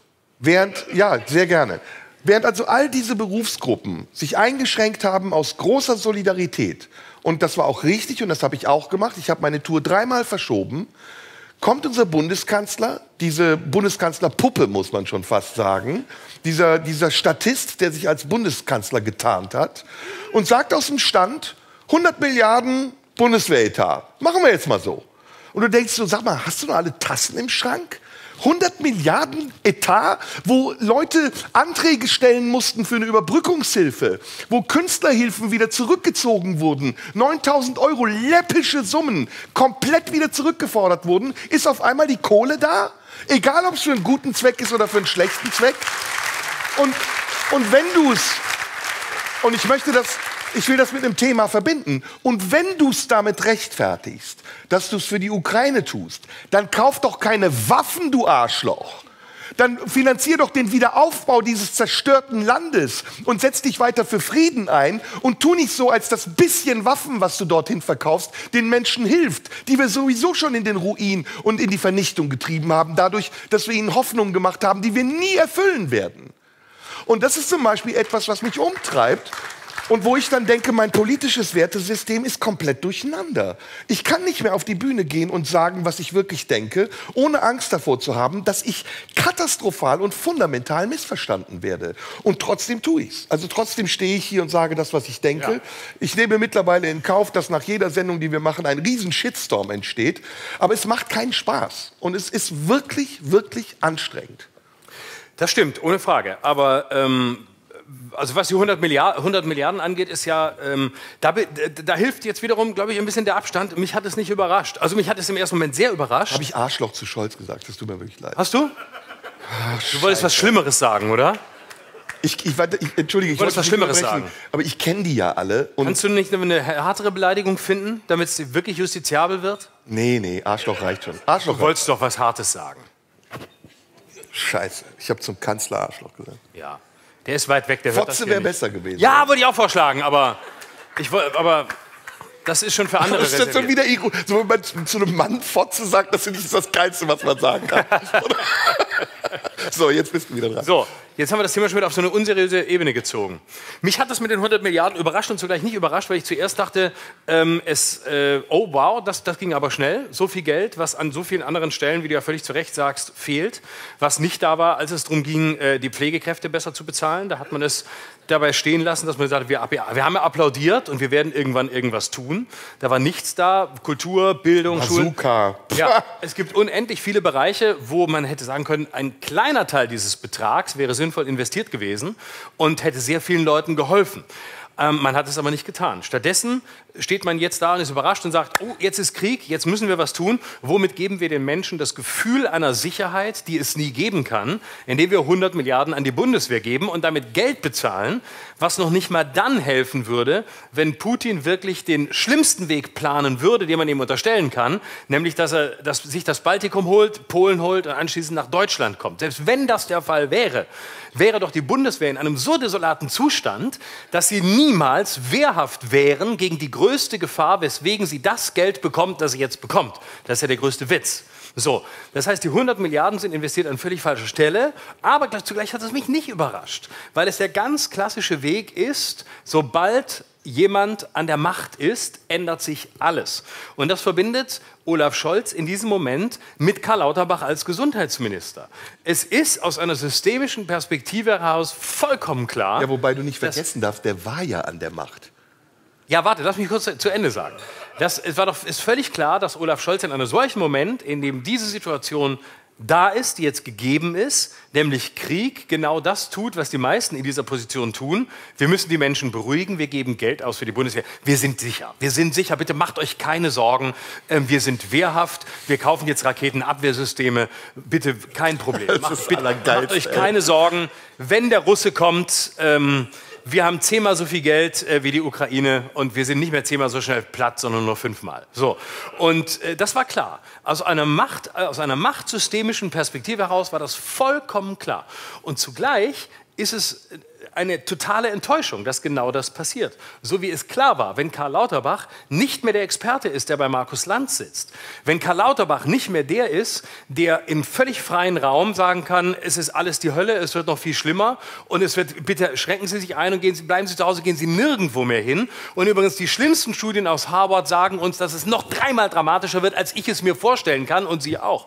Ist doch klar, dass er in dem Moment, in dem er einem, in einem Machtgefüge ist, in einer Konstellation ist, in einer Koalition ist, in diesem Fall mit der FDP, mit einem Justizminister, der von der FDP ist, mit dem er verhandeln muss, ist doch klar, dass er nicht mehr der ist, der er vorher ist, sondern der jetzt Kompromisse machen muss und jetzt eben versucht, so gut wie möglich die FDP so dastehen zu lassen, als sei sie schuld an dem, was er jetzt an Kompromissen eingehen muss. Und wie man hört, leidet er ja drunter, nicht darunter, dass er von so vielen gehasst wird, sondern dass die eigene Peer Group, dass die eigenen Fans langsam abspringen und sagen, was macht Lauterbach? So haben wir ihn nicht kennengelernt. Jetzt, was sind das hier für Öffnungen? Denn die Lauterbach-Freaks sagen ja, lass mal noch schön zu, das ist alles viel zu gefährlich hier, das können wir jetzt nicht machen. So, das heißt, auf der einen Seite sehe ich deine Enttäuschung und äh, teile deine Auffassung und zugleich sage ich, vielleicht muss man es auch ein Stück weit gelassener sehen und sagen, das ist auch Machtsystematik, dass eben die Dinge in dem Moment, in dem Personen an der Macht sind, anders entschieden werden als in der Phase, in der sie eine andere Position haben gelassen. oder außerhalb Ich des das nicht Politischen. gelassen. Aber abgesehen davon, äh, lass uns auf die Zeit scheißen. Ich muss keine Pause machen, lass uns reden. Es macht gerade Spaß. Und wenn die Leute nicht aufs Klo müssen, reden wir so lange, wie wir Bock haben, oder? Ja, wir reden einfach durch. Ja. Und, ähm, ne, mich, mich, mich, ähm, mich treibt das sehr um und mich ärgert das auch. Und ich erkläre dir jetzt auch warum. Wir leben in einer der sensibelsten Phase der Weltgeschichte, die wir in den letzten 50 Jahren oder sagen wir in den letzten 30 Jahren erlebt haben, mit Ende des Kalten Krieges. Unvorstellbar. Dass wir jemals wieder in diese Situation kommen würden, befürchten zu müssen, dass jemand Atomwaffen abschießt, das hätte ich mir nicht in meinen schlimmsten Träumen nicht äh, träumen lassen. Und ähm, dass zeitgleich zu dieser globalen Krise, die an ganz vielen Ecken unberechenbar ist, eine Bundesregierung an der Macht ist, die vollkommen überfordert zu sein scheint, weil sie auch geschwächt ist durch die zwei Jahre, in der ja ein großer Teil dieser Bundesregierung auch Regierung war. Das ist eine, ein sehr misslicher Zufall, der mich, ähm, der mir Angst macht und der in mir sehr viele Fragen aufwirft und der mich nicht pessimistisch sein lässt. Ich bin überhaupt nicht pessimistisch, ich neige eher zu übertriebenem Optimismus. Aber der mir die Frage stellt, für mich persönlich, was denke ich darüber? Wie positioniere ich mich? Wie kann ich mich in irgendeiner Form einbringen, um konstruktiv an dieser Entwicklung teilzunehmen oder zumindest zu zeigen, was ich über diese Entwicklung denke. Wir beide sind öffentliche Personen. Wir haben ein großes Forum. Wir senden einmal pro Woche einen Podcast, den mittlerweile fast über 100.000 Menschen hören. Wir bekommen sehr viel Post von Menschen, die uns genau zuhören, die das bewegt, was wir sagen. Also haben wir auch eine gewisse Macht und eine gewisse Verantwortung. Etwas zu sagen, was nicht nur oberflächlich ist, was nicht nur zur Belustigung der Menschen beiträgt, auch das. Das ist vielleicht das Schöne, dass wir beide das so gerne machen, dass wir auch die Genres wechseln und springen. Aber wir haben auch eine Verantwortung, die darin liegt, dass wir uns und das, was wir denken, politisch repräsentieren müssen. Und zwar selbstbewusst und unabhängig von unseren Auftraggebern, die uns dankenswerterweise die Möglichkeit geben, so weit zu gehen, wie sie es mit uns können. Und das ist sehr weit, das muss man dazu sagen. Trotz aller Ironie, die wir manchmal haben und Radio 1 und RBB, nein, es gibt keinen anderen Sender, mit dem ich bisher zusammengearbeitet habe und schon gar nicht der WDR, ja, der das Wie hast du den ertragen WDR nochmal bezeichnet? als Keimzelle des Faschismus, was ich laut Gerichtsurteil auch hier sagen darf. Wunderbar. Das war der andere Teil, den du nicht sagen Der darfst. andere Teil, den ich nicht sagen darf, ist das Muschi-Wort, was mit F anfängt. Aber das Schöne in dem Prozess war, mir wurde verboten, das Wort zu sagen in einer Anklageschrift, die 30 Seiten lang ging und in der das Wort F, ich glaube, 80 Mal vorkam. Wo ich gedacht habe, okay, Ziel erreicht. Das sind die systemischen Zwänge. Ja. Ich will aber diesen, diesen kleinen Absatz noch zu Ende bringen, ohne, ohne die Zuschauer zu langweilen. Ich glaube, dass sich im Moment ganz viele unterschiedliche Dinge entscheiden. Also nicht nur die Frage rechts oder links, nicht nur die Frage, in welchem Wertesystem wollen wir leben, wie ordnen wir uns ein in diesem System, wo stehen wir und wie halten wir durch mit dem, wozu wir stehen, ähm, sondern auch, wie reagieren wir auf die Dinge und auf die Umstände, die uns beeinflussen? Wie reagieren wir auf die Entwicklungen, die eine ganz starke Energie haben können und uns manchmal in Richtungen treiben, in die wir gar nicht getrieben werden wollen? Weil ganz oft mit Angst operiert wird, weil ganz oft mit Druck operiert wird. Ich nur das Stichwort Cancel Culture, eine, eine Unart der letzten fünf Jahre, äh, die darin besteht, dass man Menschen oder Künstler, die eine unliebsame Meinung hat, einfach ausradieren will, einfach aus dem Geschehen ziehen will und das nicht nur auf eine faire, argumentative Art und Weise macht, sondern indem man denunziert, indem man zum Arbeitgeber geht und sagt, habt ihr eigentlich schon gehört, was euer Künstler sagt? Ist eine Unart, die sich etabliert hat, die funktioniert in vielen Fällen, aber hoffentlich nicht bei uns und die man nicht dulden muss. Schon gar nicht als Künstler. Denn als Künstler hat man frei zu sein. Und als Freigeistkünstler hat man mutig frei zu sein. Und wenn wir das aufrechthalten wollen, in diesem Kontext, in dem wir gerade sind, müssen wir sehr viele Risiken eingehen, auch missverstanden zu werden. Und gerade das ist aber etwas, was die Menschen vielleicht mit uns teilen, dass wir diese Gedankenwege gehen, die ungewöhnlich sind. Dass wir eben nicht das einreißen, was schon aufgebaut ist, sondern vielleicht selbst was aufbauen, was andere dann mit ihren Argumenten gern auch wieder einreißen können. Und in dieser Konstellation, in der wir gerade sind, stellen sich ganz viele existenzielle, elementare Fragen. Wie stehen wir zu Krieg? Sind wir Pazifisten durch und durch? Sind wir für Lösungen, die im Dialog entstehen? Sind wir dafür, dass Menschen nicht angegriffen werden mit, mit Bomben, dass okkupiert wird, je nach Lust und Laune, dass Argumente hin und her geschoben werden, so wie es jemandem gerade in Kram passt? Oder können wir auch relativieren, ohne dass wir uns dabei positionieren? Können wir auch sagen, hey, was wir gemacht haben, die NATO, ist nichts, was anders oder besser ist, als das, was die Russen gerade machen. Und das ist nur ein Beispiel. Das sind nicht nur die Angriffe auf Serbien gewesen, mit denen ich Milosevic übrigens überhaupt nicht in Schutz nehmen will, mit denen ich nur sagen will, dass dort auch Völkerrecht gebrochen wurde, so wie es auch im Irak war, wo Napalm eingesetzt wurde und in Libyen und in Afghanistan, wo die NATO ein heilloses Chaos hinterlassen hat, um dann wieder abzuziehen und zu sagen, wisst ihr was, wir haben mit der ganzen Scheiße hier nichts mehr zu tun. All das muss man sagen, ohne dass man sich vorwerfen lassen muss, irgendjemanden zu verstehen oder in Schutz zu nehmen, der hilflose Menschen bombardiert. Ich bin kein Putin-Versteher, ich bin auch kein Putin-Freund. Ich bin ein Freund des Friedens. Und das schon seitdem ich denken kann.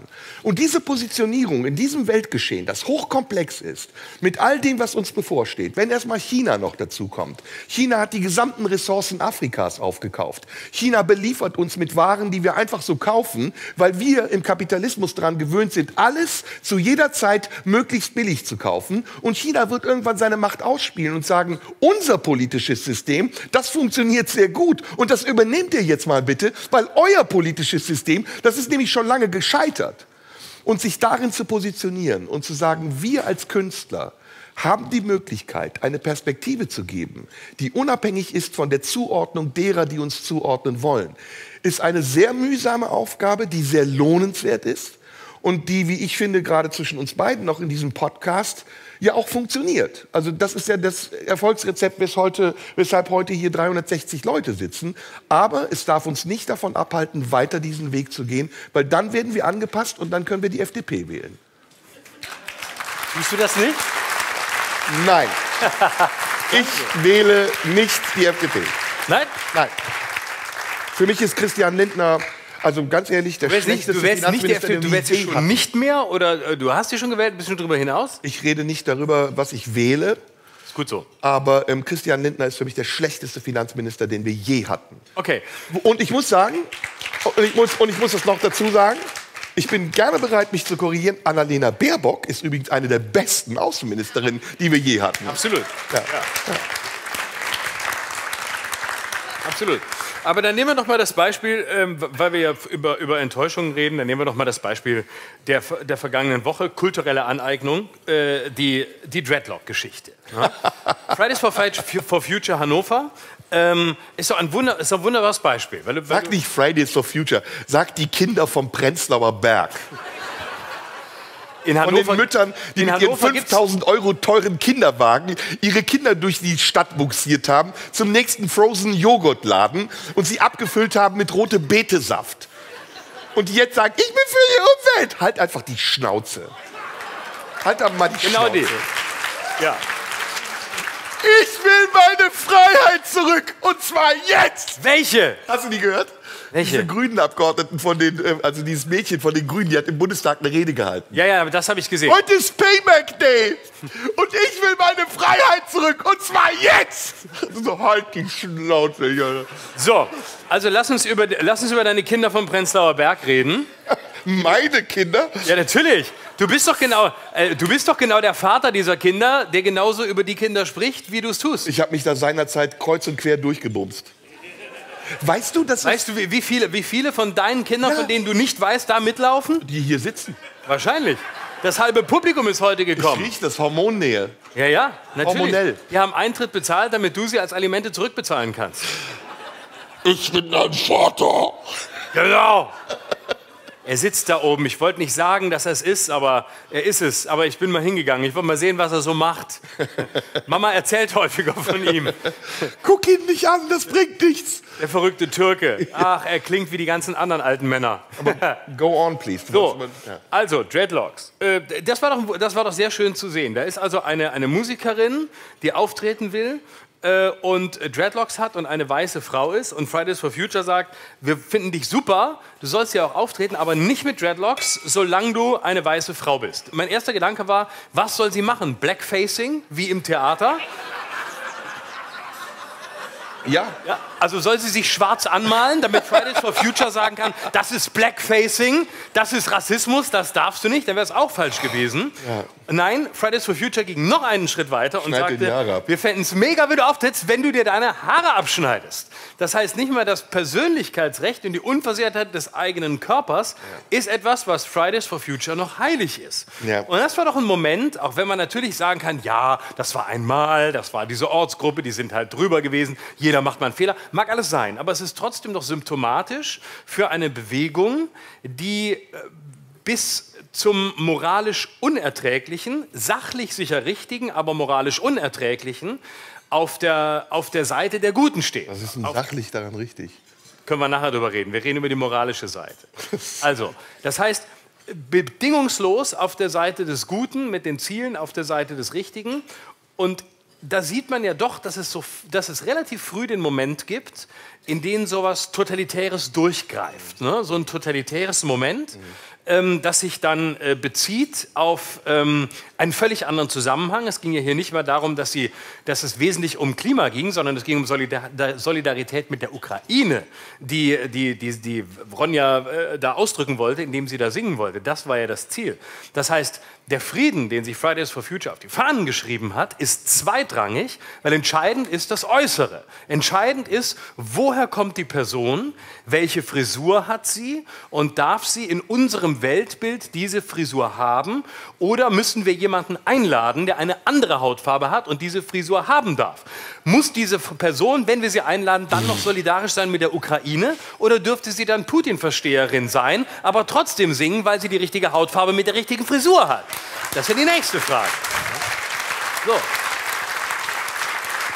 Das heißt, wir kommen sozusagen im Namen der Toleranz und im Namen ähm, des Guten schnell an ziemlich problematische Grenzen, nämlich an die Grenze dessen, wie weit glauben wir, Menschen verändern, äh, vielleicht manipulieren zu können im Namen unserer Sache. Und es führt eben am Ende äh, zu, zu, zu nicht der Gleichheit, die sie eigentlich für sich beanspruchen zu haben, sondern es führt in ein ziemlich rückwärtsgewandtes, separatistisches äh, Weltbild, das für Segregation sorgt, das nämlich genau das tut, was diese Leute sonst immer schreiend ablehnen, nämlich Menschen zu bewerten nach Hautfarbe, nach Frisur, nach Aussehen äh, und nach dem, ob sie etwas dürfen oder angeblich nicht dürfen. Und das ist doch das eigentlich Problematische.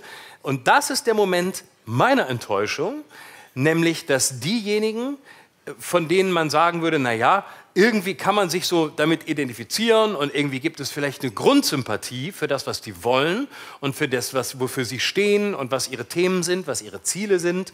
Da kann ich über weite Strecken mitgehen und dann sehe ich, es kippt in einem relativ frühen Stadium in so ein totalitäres Moment und in einen Moment, von dem ich sage, das ist das rückwärtsgewandteste, was man tun kann, Menschen anhand ihrer Äußerlichkeiten zu bewerten und überhaupt nicht mehr zu sehen, was eigentlich ihr Ziel ist. Und das auf dieser Seite. Und das, das ist der Moment, wo ich dann, wo ich dann auf, auf, auf diese Gruppe oder auf solche Leute, auf Leute, die sich im weitesten Sinne selbst im linken oder grünen Spektrum ansiedeln, noch viel wütender bin als auf jeden AfD-Honk, weil den AfD-Wichsern traue ich einfach per se nichts zu. Da weiß ich, ihr müsst Arschlöcher sein, sonst werdet ihr nicht AfD-Anhänger. Wenn ihr Rechtsextremisten seid, seid ihr definitiv geistig beschränkt, sonst werdet ihr es nicht. Da erwarte ich nicht viel. Da muss man draufhauen, das muss man kritisieren, aber man erwartet nichts. Und bei diesen Leuten, da erwarte ich einfach was ganz anderes.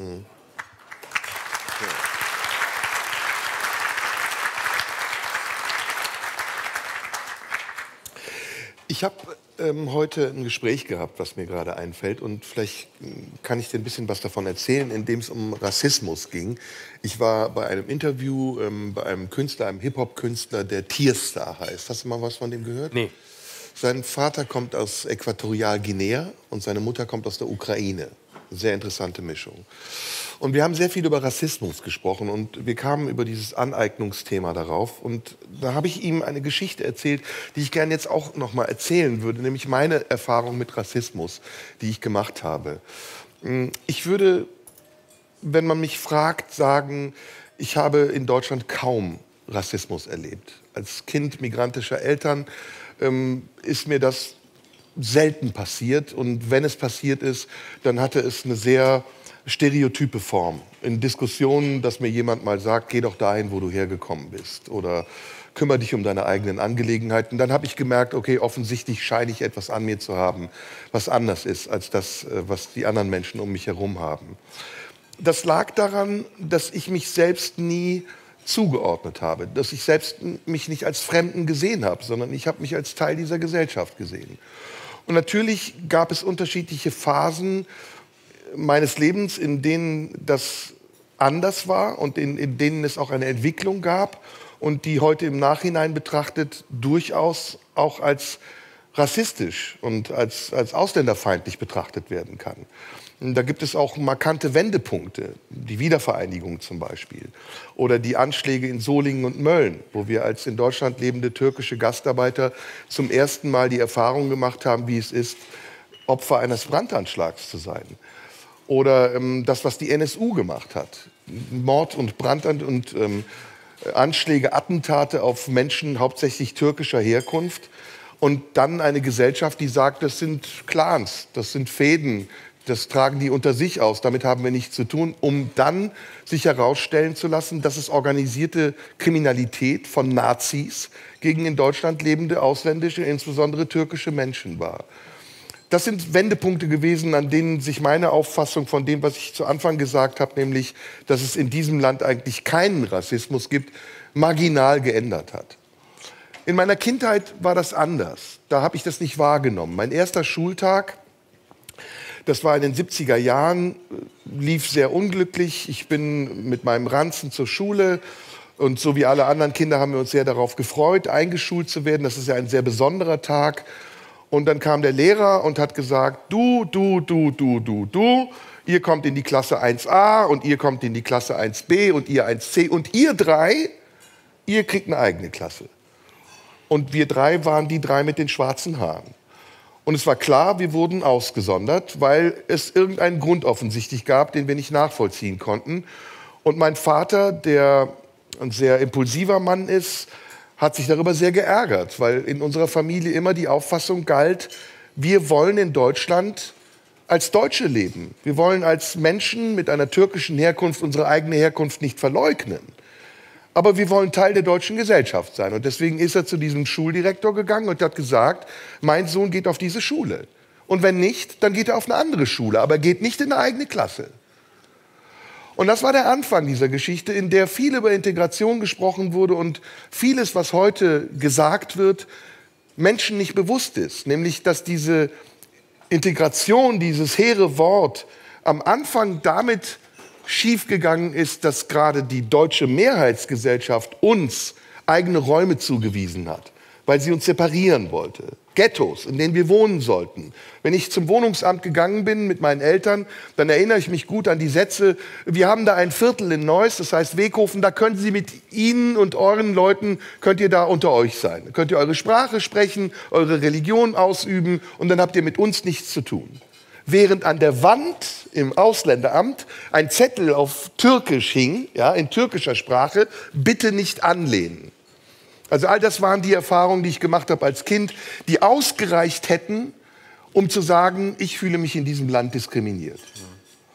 Aber ich habe das nie gemacht, weil für mich war mein Alleinstellungsmerkmal nicht, dass ich Türke war und dass ich mich diskriminiert gefühlt habe und dass ich für mich eine Sonderposition beansprucht habe, weil ich das intuitiv vielleicht sogar als Rassismus empfunden habe, sondern ich wollte ebenbürtig sein. Ich wollte gleichwertig sein. Ich wollte auf Augenhöhe mit den Deutschen sein. Und es hat sich in meinem Berufsleben weitergezogen. Es war wie ein roter Faden eigentlich, der mich bis heute begleitet, dass immer dann, wenn es ganz einfach gewesen wäre zu sagen, ihr macht das nur, weil ich Türke bin, irgendeine innere Stimme in mir gesagt hat, mach das nicht. Du entwertest dich damit.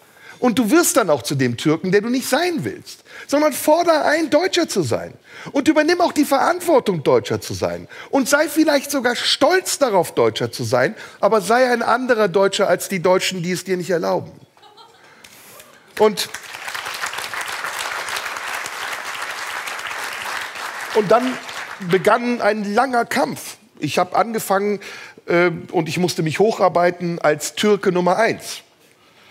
Wenn ich besetzt wurde in irgendwelchen Hörspielen, musste ich in irgendwelchem radebrechenden Deutsch mit Akzent ganz kurze Sätze sagen. Hallo, haben Sie Taxi bestellt? Hallo, genau. Ich möchte ein Taxi. Wie viel kostet? Dann bin ich geadelt worden und hieß plötzlich Mehmet oder Ali oder Murat. Und irgendwann kam der Zeitpunkt, wo ich sogar Hans sein durfte. Und ich war ganz stolz und dachte, wow, ich habe was geschafft. Ich habe es geschafft, mich von meiner eigenen Identität zu lösen und eine neue Identität zu finden. Und genau das ist das, was mich zu unserem Thema bringt. Ich glaube, das gelingt vielen Menschen im Moment nicht. Wir leben in diesem Land und wir kommen aus ganz unterschiedlichen Kulturkreisen. Und im Laufe der Zeit hat sich dieses Land immer wieder verändert. Es hat sich nach der Wiedervereinigung verändert. Es hat sich nach den benannten Brandanschlägen verändert. Es war in den 70er Jahren anders als in den 60er Jahren. Aber wir sind Teil dieses Landes. Und das Einzige, womit wir uns identifizieren können, ist mit der wunderbaren Vielfalt, die es in diesem Land gibt. Und es muss uns egal sein, woher jemand kommt, woran er glaubt oder mit wem er schläft, wenn er bereit ist dazu, in diesem Land ein Teil unserer Gesellschaft zu sein dann muss er auch als vollwertiger Teil akzeptiert und anerkannt werden, ohne dass er dafür kämpft.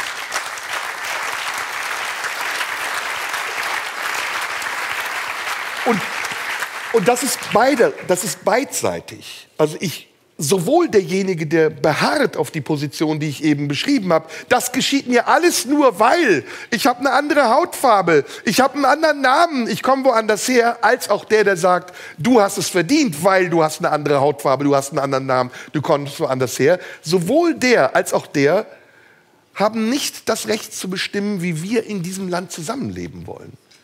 Ich will in diesem Land mit Menschen zusammenleben, die mich respektieren und die ich respektiere die tolerant sind und zu denen ich auch tolerant sein kann. Und das ist so einfach.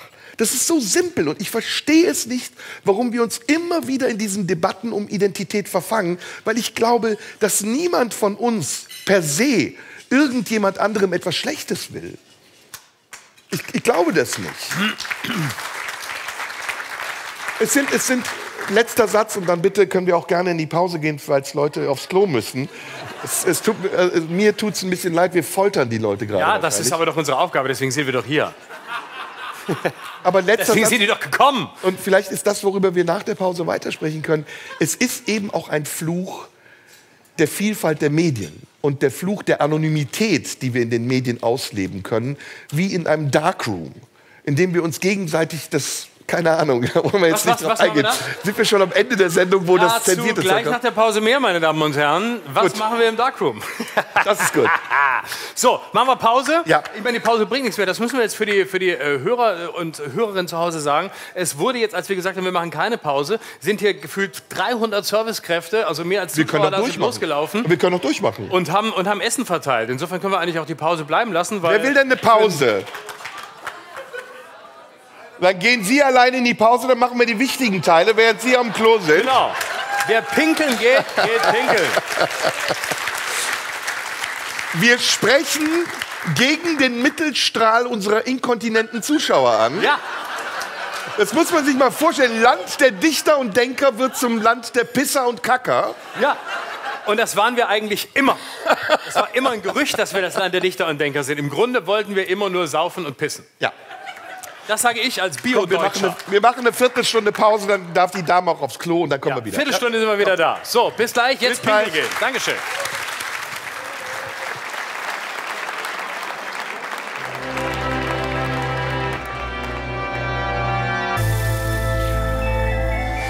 Schröder und Sumunju, der Radio 1 Podcast. Vielen Dank. Chaos hier. Mir ist zu chaotisch. Wir brauchen mehr Wein. Den Satz habe ich von Steinbrück. Wir brauchen mehr Wein. Ist so viel. Deine beste Rolle. Dinner for One auf Türkisch. Lord Pomeroy! How is so bad? So, was die Hörer des Podcasts nicht wissen, äh, Serda hat sich ausgezogen, also ist jetzt quasi nackt für seine Verhältnisse, trägt nur noch ein T-Shirt. Ein T-Shirt, das eng anliegt, was... Jetzt ist er ganz nackt. Wer nicht hier hinkommt und zahlt, dem werden alle Lügen aufgetischt, die wir haben. Unter Ja. anderem die, dass du nackt bist. So, Ja. jetzt. Jetzt müssen wir uns wieder aufheizen. Ja. Wo waren wir stehen geblieben, mein lieber Freund? Wir würden jetzt gerne einen Test Lass uns doch ein schreiben. bisschen mehr so im Theaterduktus sprechen. Gerne oder so wie in der Wochenschau in den 50er Jahren. Deutschland hat heute eine Wiederbewaffnung beschlossen. Raketenabwehrsysteme Sehr in gut, Israel gekauft. sehr gut. Das ist sehr gut. Das wird uns absichern. Bundeskanzler Adenauer ist in Washington zu Besuch. Was er dort will, wissen wir nicht. So, das ist eigentlich eine schöne Sprache, ne? Ich finde es schön. Ich auch. So schön. Man könnte eigentlich immer so sprechen. Ich mag auch Auch in so, Hotlines. Sagen Sie eins. Eins, zwei, drei. ich mag auch diese Theatersprache, dieses abgesetzte. Wenn so gesprochen wird, dass man merkt, hier wurde in der Schauspielschule Ja. beigebracht, dass man auf das letzte Wort und den letzten Buchstaben betont, damit es auch die letzte Reihe mitkriegt. Oder so dieser ähm, Götz-Georges-Style. Alles zeratmen. Mann, Mann, Mann, Mann, Mann. Das ist ja wirklich... Mann, Mann, Mann, Mann, Mann. Richtig hart hier. das ist auch geil. Ja, stimmt. Pathos. Pathos. Ja, jetzt wollten So. wir nicht über die Ohrfeigen sprechen. Deswegen lass uns drüber sprechen. Ja, unbedingt. Wir haben gerade äh, in der Pause darüber geredet, dass wir nicht darüber reden wollen, hatten dann so viel dazu zu sagen, dass wir gesagt haben, das müssen wir öffentlich machen. Ja.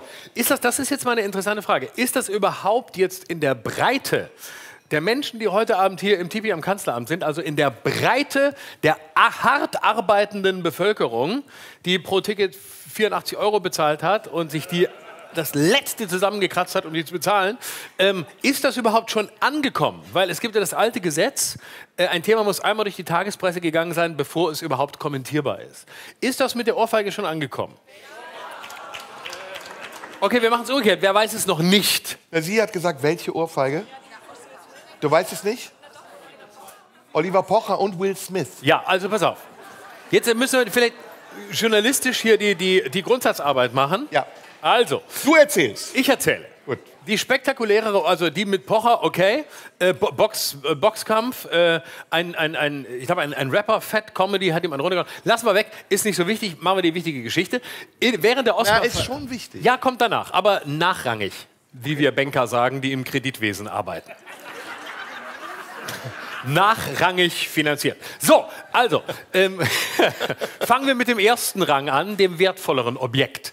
Und zwar, also äh, Oscar-Verleihung letzte Nacht. Ähm, Chris Rock hat moderiert und machte einen, äh, sagen wir mal, relativ schlechten Witz auf Kosten der Frisur ähm, von Will Smiths Frau, die eine Glatze trägt. Und zwar, weil sie eine Autoimmunkrankheit hat, die dafür sorgt, dass sie Haarausfall hat. So. Und dann machte also äh, ähm, Chris Rock einen, einen Witz, dass er sich auf äh, Kristall machte einen Witz. Nein, Chris Rock machte einen Witz, ähm, dass er sich auf eine, eine neue Staffel äh, einer Serie freue, in der Demi Moore eine Frau spielt, eine, eine, eine Soldatin spielt, die auch eine Glatze hat. Schlechter Witz muss man jetzt nicht groß erklären. Auf jeden Fall ein Witz auf Kosten der Frau von Will Smith und letztlich natürlich auch auf Kosten ihrer, äh, ihrer Krankheit, weil sie eine Glatze hatte. So, und dann lief Will Smith wirklich, man muss sagen, äh, seelenruhig fast schon, ne, auf diese Bühne, lief Chris Rock entgegen und hat ihm einfach eine runtergehauen und ist wieder gegangen. Und im ersten Moment, als ich das sah, muss ich sagen, es war so unfassbar schlecht gespielt, dass ich dachte, es ist einfach ganz schlechter Hollywood-Stil. Und ich dachte, wenn Schauspieler äh, sich eine runterhauen, ohne dass der Regisseur gezeigt hat, wie man es richtig macht, sollten sie es bleiben lassen. Und erst im zweiten Moment habe ich gesehen, der hat das ernst gemeint. So. Und äh, dann äh, hat er noch gesagt, yeah, don't take your, the name of my wife in your fucking mouth. Also nimm den Namen meiner Frau nicht in deinen Mund und so. Und dann hat er sich wieder hingesetzt und später bekam er selbst einen Oscar und hat eine sehr be befremdliche Dankesrede gehalten, in der er auch geweint hat und davon geredet hat, man müsse seine Liebsten beschützen. So, das also ist die Geschichte. Und jetzt entbrennt natürlich die Diskussion, ähm, ist das jetzt angemessen? Also ich habe viele, viele äh, Posts gesehen im, im, Internet, wo Leute gesagt haben, ja super, der verteidigt noch seine Frau, großartig, jawohl, ein starker Mann, der haut dem eine runter und überhaupt so einen Witz zu machen. Und klar, über die Qualität des Witzes kann man streiten, der ist sicher nicht besonders. Aber das Traurige ist doch eigentlich, wir sind im Showbusiness, wo man noch mit Worten arbeitet und mit Kunst arbeitet und eigentlich versucht sozusagen denen, die sonst gewalttätig sind und anderen einen über die Rübe hauen, mit gewaltlosen Mitteln, mit den Mitteln der Sprache, des Ausdrucks zu begegnen und sie letztlich auszuschalten. Das heißt, eigentlich ist es doch ein Medium, das Gewalt ausschaltet ausschließt, außer der Gewalt des Worts. So. Und trotzdem macht er das und es gibt sehr viel Zustimmung. Und dann dachte ich, das ist vielleicht auch ein bisschen der Zeitgeist. So wie viele Pazifisten jetzt zu Bellizisten werden und sagen, Gar nicht so schlecht, so ein Krieg. Gar nicht so schlecht. Die NATO muss härter durchgreifen. Jawohl, Flugverbotszone, macht den Putin platt. Haut drauf, gibt's ja einiges. So sagt man, jawohl, da soll der Will Smith mal die Ehre seiner Frau soll er retten. Ne? Und es ist so ein bisschen so eine Situation, wo du wirklich denkst, wenn du sowas, wenn du sowas parodistisch machen würdest, ne? Hey, hast du was, hast du meine Frau beleidigt? Ich schlag dich. Hast du meine Frau beleidigt? Hast du meine Frau? Du sagst was gegen meine Frau, ich hau dir einen runter. Dann würdest du sagen, das ist schlechte Comedy, Erkan und Stefan vor 20 Jahren und in Hollywood ist es cool. Ne? Und das fand ich doch, das fand ich doch ziemlich schockierend. Also auch diese, diese Begeisterung für, für Will Smith, ähm, dass der da hingeht und einfach sagt, ja, ich mache das jetzt, ich gehe da hin. Und auch mit so, mit so einer Coolness. Und mein Gott, ja, Humor kann schlecht sein und der Witz ist, ist miserabel, aber gerade in Amerika ist man noch cool und sagt, pff, mach doch du deinen Joke.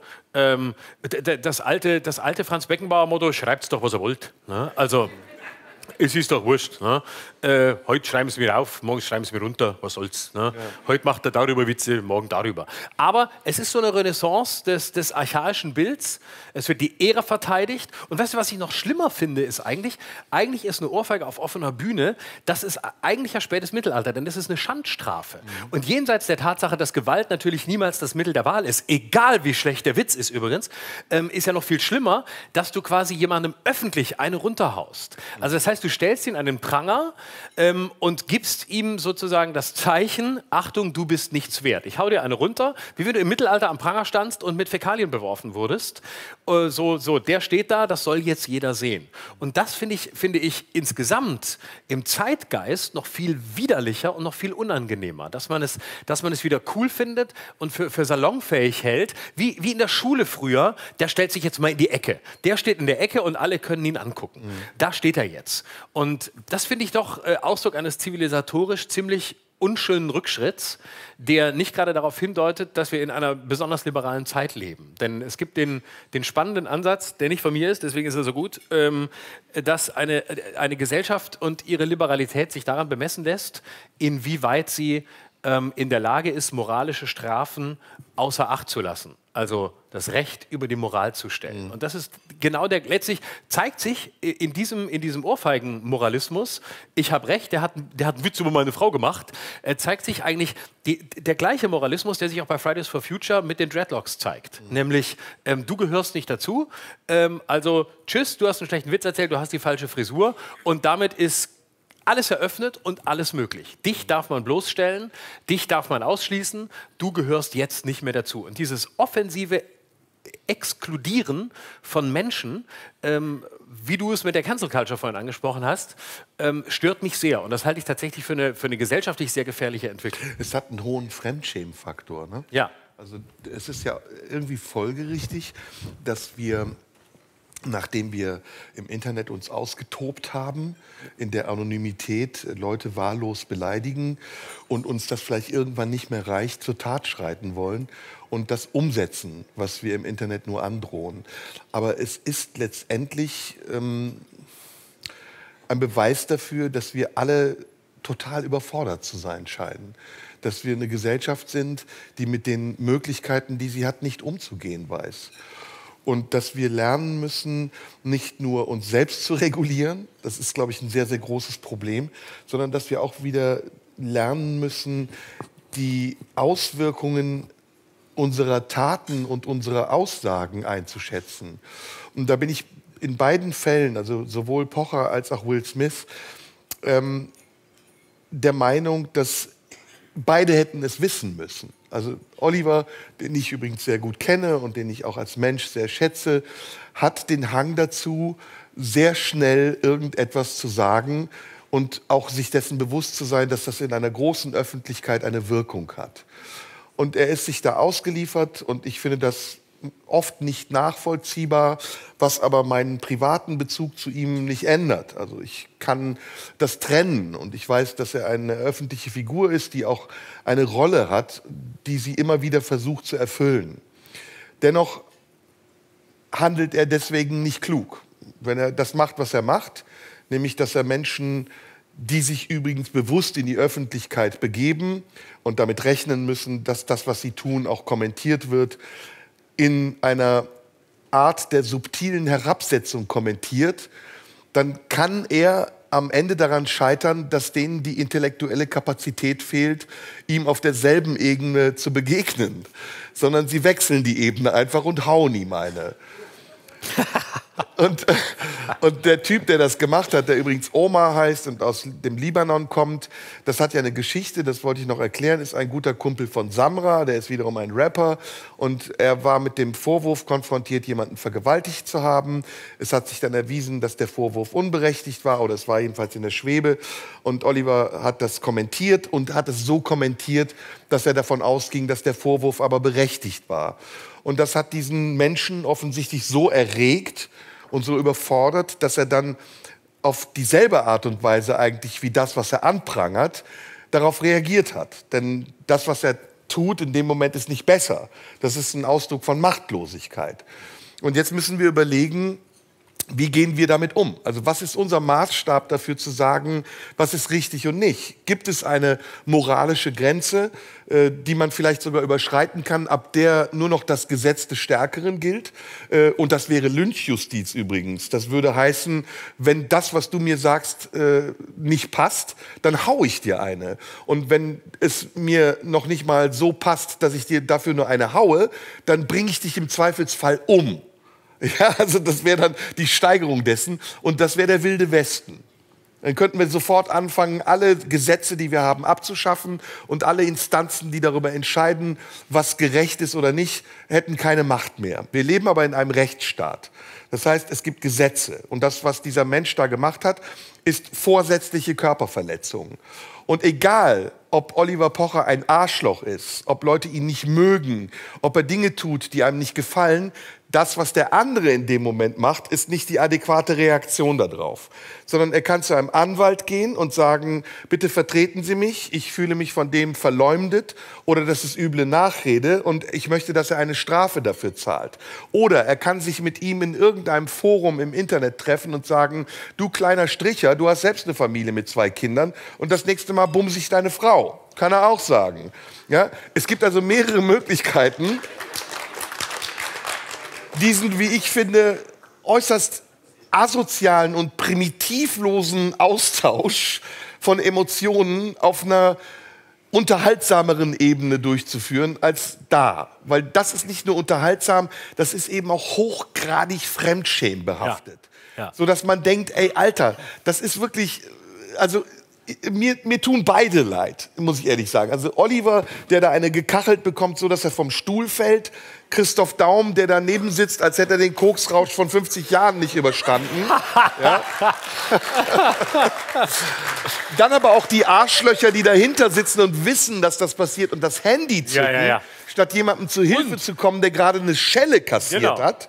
Dann die Security, die den Namen Security nicht verdient hat und irgendwie äh, äh, äh, macht. Und dann der Typ, der in dem Moment, wo er sich für einen Star hält, nicht weiß, dass er die nächsten zwölf Monate mit Richtern und Anwälten zu tun haben wird und im Zweifelsfall viel Geld für diese dumme Aktion zahlen muss. Und dann auch noch die, die, die Masse der Leute äh, im Internet, insbesondere, insbesondere uns bei Twitter, die schreiben, jawohl, endlich endlich, der Pocher hat's verdient. Dem muss man auch mal eine Runde. Ich habe ihn schon immer gehasst, das Arschloch. Und wo ich dann auch denke, oh Leute, das ist genauso scheiße, wie zu sagen, jawohl, Will Smith hat recht. Will Smith äh, rettet die Ehre seiner Frau. Der, da wurde die Frau beleidigt, der haut ihm eine runter. Das ist genauso mies zu sagen, ja, Pocher hat's aber auch verdient. Nur weil ich einen Künstler nicht mag oder weil ich den scheiße finde, sich Hast du gleich Künstler darüber zu gesagt? Entschuldigung. Da, das wäre da größter, der größte Widerspruch in diesem Absatz. Also Künstler Bei würde Pocher? ich, der Künstler würde ich nicht sagen. Das stimmt. Ich eigentlich auch nicht. Egal wie scheiße ich einen Honk finde. Nein, ähm, nein, nein, nein, nein, bitte? nein, nein, nein, nein. Nein, das ist zu viel. Ach so, egal wie scheiße ich Pocher finde, Ja. egal wie scheiße ich das mache, was er für Kunst hält ähm, oder was er für, für Unterhaltung hält. Äh, Unterhaltung. ja, Entertainer. ja, Ja. Genau. Egal wie schlecht ich seine Versuche, Unterhalter zu sein, finde, jetzt kommen wir langsam an den Kern der Wahrheit. Ähm, Ich würde ihm trotzdem eine klatschen. ich würde ihm trotzdem eine runterhauen, wenn ich nicht zu viel Angst vor Richtern und Staatsanwälten hätte. Ja. Nein, würde ich natürlich nicht. Nein, also, da- bin, ja genauso ein, bin ja genauso ein Häftling wie er. Das würde wäre ja eins zu erklären. eins. Nein, ich fände die Reaktion so scheiße, zu sagen, ja, endlich, endlich trifft es den Richtigen. Das Ja, finde ich auch. Das, das finde ich total daneben. Und ob man jemanden mag oder nicht, völlig egal. Ja, und- und ich man freut sich nicht drüber, wenn einer eine, eine runtergehauen kriegt. Das ist der Punkt. Genau, und ich würde gerne noch was ergänzend erklären. Ähm, ich glaube, dieses ganze Internet-Dings ne, und die Möglichkeit per Knopfdruck oder per Tastendruck sich live zu schalten mit einer Followerschaft von 1,8 Millionen hat Oliver gerade im Moment und andere haben auch sehr viele, ist sehr verlockend, aber ist auch sehr verheerend, weil man im Affekt viele Dinge tut, die man nachher bereut. Und ich weiß nicht, wie das bei dir ist. Auch ich bin manchmal abends in einem guten Zustand und denke so, Den habe ich leider noch nie und erlebt. so, ah, komm jetzt, jetzt gehe ich mal live. Jetzt sag ich doch mal was. Jetzt gehe ich mal ins Internet und rede Dann mal. sage ich, ich sage nicht immer, was ich meine, aber das ganze Geschisse um das N-Wort, das Das kann ich mir bei dir nicht vorstellen, dass du sowas machen Und in würdest. dem Moment fühle ich mich wahnsinnig gut. Ja, klar. Und denke so, Ja, du sitzt zu sag Hause, du bist allein, niemand spricht mit Genau. dir, außer irgendeinem so anderen, anderen Typen, der auch allein ist, mit dem auch keiner spricht und dann legst du los. Und dann wache ich morgens auf und denke, ha! Scheiße! Was habe ich gemacht? Und dann rufe ich bei Florian an und sage, Florian, lösch das! Lösch das! Und Florian sagt, "Du, ich bin gerade erst aufgewacht, dauert noch drei Stunden. Ich sage, nein, lösch das! Genau. Und dann sagst du aber nicht, lösch das, weil ich Scheiße gebaut habe, sondern lösch das. Die Leute haben meine Kunst nicht verstanden. Das sagst du. Sie haben meine Kunst nicht verstanden. Ich habe sie, ich hab sie selbst nicht verstanden. Genau. Nein, und dann sagst du, und dein zweiter Satz ist, die verstanden. Leute wissen überhaupt nicht, was ich seit 30 Jahren erzähle. Sie wissen doch, wer ich bin, aber sie haben es vergessen. So, und das- Man kann keine zwei Sätze mehr sagen, ohne dass die Leute vergessen, was für ein großer Künstler man aber ist. du, aber du lachst dann und sagst in der, in der Mach ich, nächsten ja. Talkshow, ich habe mich für mein Lachen geschämt. Das ist doch viel schlimmer. Genau. Du Arschloch. Du warst das Arschloch, du hast uns da reingebracht. Du sitzt dann in jeder dritten Talkshow und sagst, ich war mir dessen nicht bewusst, wie mir die Leute da diskriminiert Man haben. versteht mich nicht. Und Ich bin seit 30 Jahren der größte Künstler in Deutschland. Ich habe vor Nazis gespielt. Und wenn ich einmal Fotze sage, kriegst du in die Ohren gehauen. Undankbares Moment.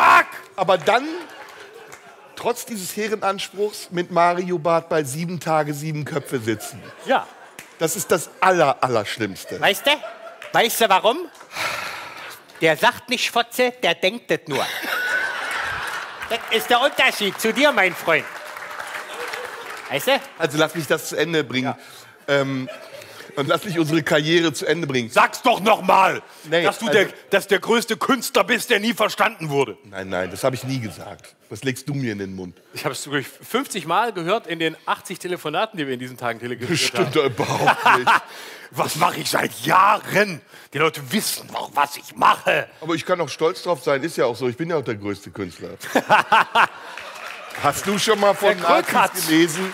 Der Gröckatz. Du liest in Emmelshausen aus deinem schäbigen Buch Spiegel Bestsellerliste. kann meinen Text auswendig, ich lese nicht aus Es- meinem Buch.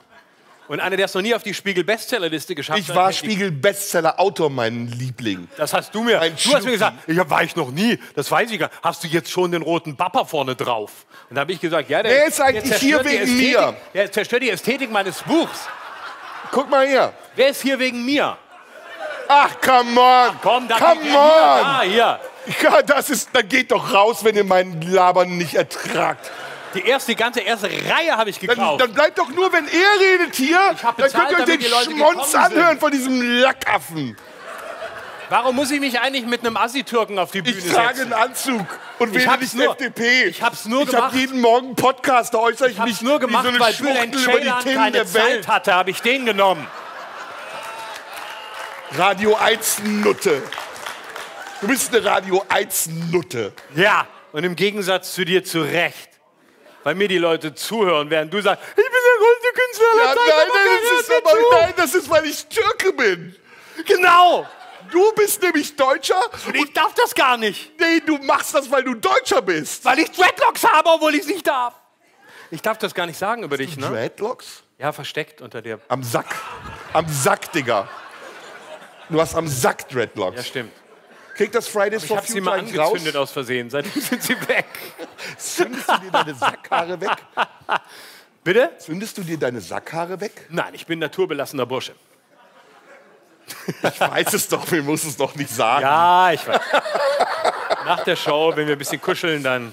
so, das wollten jetzt wir zurück zum Bitte. Thema. Wo waren wir stehen geblieben? Ich glaube, dass diese Verlockung, dass Der man größte eben in so Künstler einem aller Zeiten zu Zustand, nee, dass man so wie wir jetzt in diesem Zustand der überbordenden Freude und Euphorie, Dass wir uns sehen. dass die manchmal sehr unberechenbar ist und dass man dann Dinge tut, die man am nächsten Morgen bereut. Und ich glaube, und Haben wir heute schon was getan, was wir morgen bereuen werden? Ja, dass du mich unterbrochen hast, wirst du morgen bereuen.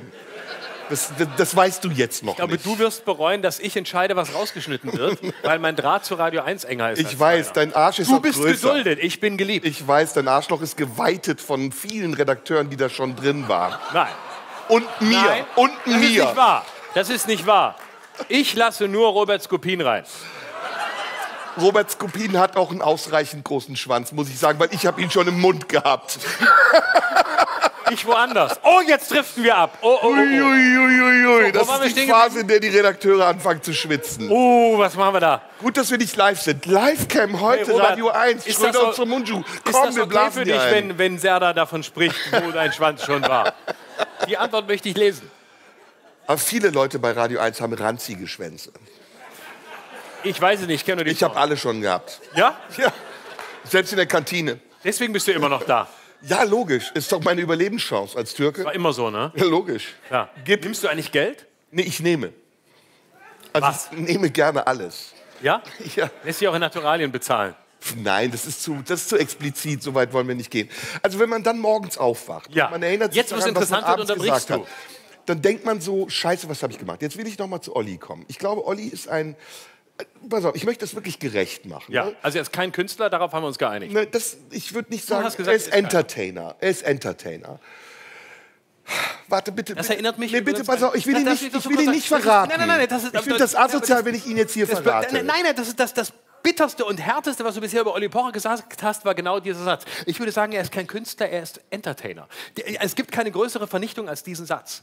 Das heißt, jetzt noch zu sagen, es gibt irgendeine Sympathie, it's over. Es ist aber, ja, aber over. jetzt treib mich nicht in die Richtung. Nein, ich treibe dich nicht in die Richtung, ich sage es aus eigener Erfahrung. Aber jetzt Also halt ich doch mal also aus, ich mein will doch noch was sagen. Nein, gleich, ich muss das, ich, nein. bist- du- bist ist jetzt egal, du Markus Lanz oder was Ich will ist mehr los? sagen, pass auf. Und zwar, als ich mein erstes Programm gemacht habe, Oh nein, das ist jetzt Markus Lanz. war, nein, nur weil ich es so mache. Nein, ich erinnere mich, als ich, mein, als ich mein erstes Programm gemacht habe, hat ein von uns beiden sehr geschätzter Kollege äh, die, die Regie gemacht. Und ich werde nicht sagen, Ich wer weiß, es wer war. es war. Ja? Soll ich, ich sag's nicht, ich parodiere ihn nur. Ne? mach mal. Ja. Und äh, er sagte am Ende der Zusammenarbeit, die so ein bisschen schwierig auseinanderging, äh, sagte er so einen ähnlichen Satz zu mir, wie du gerade über Pocher. Das war die größte Vernichtung. Er sagte zu mir, Florian, ähm, Florian, ähm, ich sage dir, du wirst deinen Weg machen, äh, wenn auch als Entertainer und nicht als politischer Kabarettist. Matthias Deutschmann. Ja, man hat es direkt erkannt. Ja, es war Matthias Richtling, haben Sie gleich erkannt, meine Damen und Herren. So, also ich würde ihm sogar recht geben, aber das ist ein anderes Thema. Ja. ich bin ja auch Germany's Next Pocher. Nein, also pass auf, lass uns da nochmal ansetzen und wir reden nachher auch über dich. Ja. Ich will nicht über mich reden, ich will über dich reden. Erzähl weiter. Also, ich, ich bin hin und her gerissen, weil natürlich kennen wir beide viele Menschen aus dem Showbusiness und wir wissen, dass es einen Unterschied gibt zwischen der Fassade und zwischen dem, was dahinter steht. Und wir sind auch immer versucht, dem einen oder anderen Platz zu geben, wenn wir in Diskussionen verstrickt werden, in denen unsere Meinung verlangt wird. Dieter Nuhr ist so ein Beispiel. Dieter Nuhr ist ein total sympathischer Kollege, der eigentlich jeglichen Verdachts erhaben ist, irgendein Rechter zu sein, aber er macht sehr kontroverse Dinge. Und über die kann man streiten und die kann man ihm auch sagen. Und er erträgt es auch, wenn man es ihm sagt. Und das Gleiche ist auch mit Oliver Pocher so. Oliver Pocher ist gerne ein Clown und er ist sich dessen bewusst, dass er ein Clown ist. Und er ist, wenn du mich fragst, die adäquate Antwort auf die Verrücktheit dieser ganzen Medien- und Internetwelt. Eigentlich ist das der perfekte Entertainer für die Zeit, in der wir leben. Der teilt aus, der steckt übrigens auch ein. Auf die Art und Weise, wie es jetzt war, finde ich es relativ hinterhältig und feige. Aber es ist durchaus, er ist kritikfähig. Man kann ihn kritisieren. Was nicht heißt, dass ich das, was er tut, gut finde. Ich finde, er geht weit über die Grenze. Er, er, er legt sich mit Leuten an, die ihm hoffnungslos über, unterlegen sind. Und es hat überhaupt keinen Sinn. Also warum macht man sowas? Warum muss man Influencern sagen, die in Dubai sind und sagen, hallo, ich bin hier in Dubai, während wir alle im Lockdown sind, dass es scheiße ist? Kann man machen, ist seine Entscheidung, okay, aber, und jetzt kommt das, was ich meine, er muss damit leben, dass es Konsequenzen hat. Und zwar unberechenbare Konsequenzen, weil wir wissen, die Leute im Internet sind nicht alle intelligent. Und die reagieren auch nicht immer rational und vernünftig. Ich dachte, ich dachte immer, Das dachte ich auch immer, aber das sind nur die Kolumnisten, die bei Spiegel Online schreiben. Der Rest ist Vollhonk. Das ist, äh, ist, ist das so? Ja, ja. Das, das trifft mich sehr, das habe ich nicht. Du dachtest immer, das wäre die, das wär die Creme de la Creme der Ich dachte, intellektuellen nur Oberschicht. die edlen, hilfreichen und guten. Das war immer mein Eindruck. Nach, nach Mickey Beisenherz kommt nichts mehr. Echt? Das ist alles. Auch bei Facebook?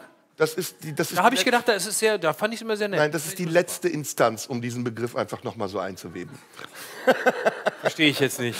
Wobei letzte ist da noch ein Ding, das man interpretieren müsste. Herrschaften. Soll ich es noch erzählen oder war das schon durch? War, Nee, Gott, mir geht es auch zu lang um so, eine, um so einen Wicht wie Oliver okay, ich, Pocher. ich monologisiere. zu Dafür ist die Zeit zu schade. Ja, ja. So. Aber das zum Beispiel ist auch so ein gefälliger Applaus. So, die Leute mögen ihn nicht. Nee, Pocher, ich scheiße. Nee, es ging Ihnen einfach zu lang. Sie sind autonom. Wir haben ein autonomes Publikum, das für sich entscheidet, was gut für es ist. Ja, ja.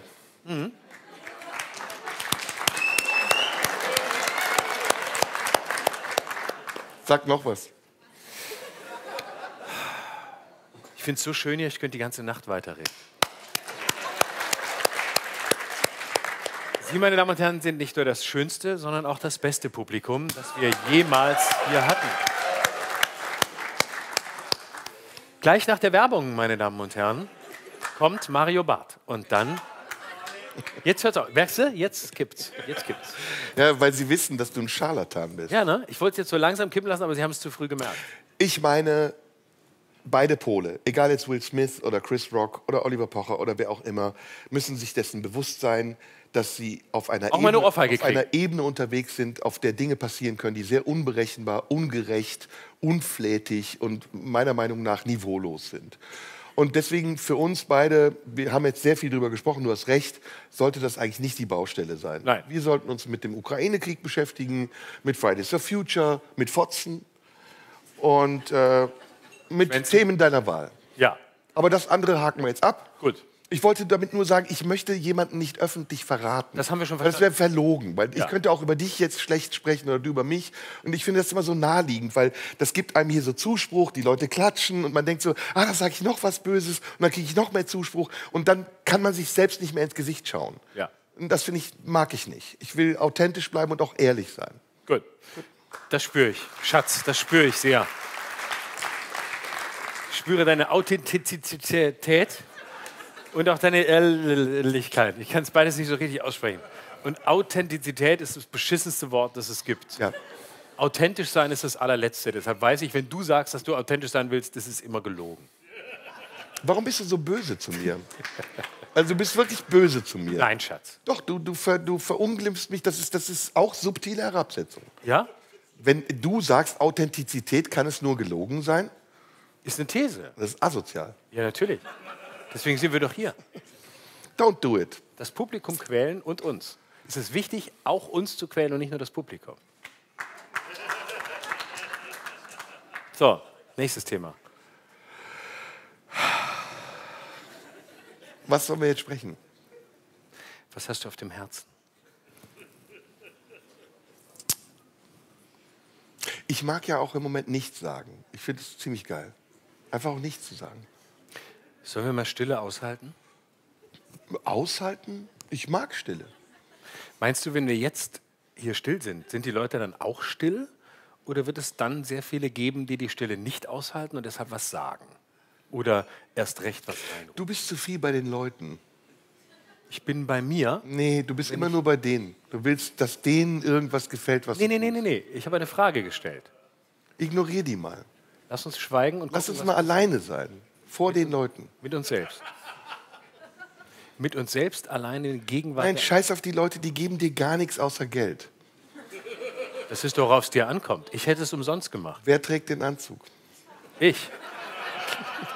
Wer ist Stammkunde bei C und A? Das ist jetzt, ein, wir machen jetzt einen Wettbewerb. Ja. Lass uns authentisch sein. Lass uns authentisch schweigen. Nee, lass uns versuchen. Guck mal, mach das mal weg. Was? Mach das, mach das mal kurz weg. Ist doch schön. Das ist immer noch da. Was? Das da. Das da oder die da? Das unsichtbar, jetzt sei nicht politisch korrekt, die Arschlöcher, die uns gegenüber sitzen.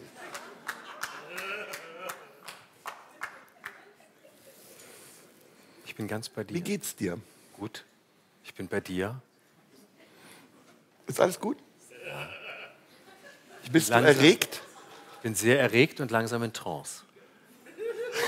Du spielst gerade. Weil du mich mit deinem durchdringenden Blick anguckst, der hypnotische Kräfte. Du hast irgendeine Konkurrenz zu mir. Nein, Doch. Du willst mich übertrumpfen. Nein. Die ganze Zeit. kann ich gar nicht. Doch. Nein. Du versuchst dich an mir zu bewähren und du benutzt das Publikum als deine Handlanger. Und die Leute denken aber, du wärst auf ihrer Seite. Dabei hast du die genauso wie ich. Das ist schön, wenn man die eigene Technik dem anderen Ja, wir sind alles Lutscher. Was ist an diesen Leuten? Die sind nicht besser als der Pocher. Die fallen dir als erstes in den Rücken. Halt Schnauze. Schön. Ich Die kannst du wusste, auf jeden Fall haben. Die ist super willig. ich wusste, Boring, boring. Das war Hallo? übersetzt. Fuck Haben Sie me, Taxi bestellt? Fuck me. Ich fahre dich nach Hause, okay?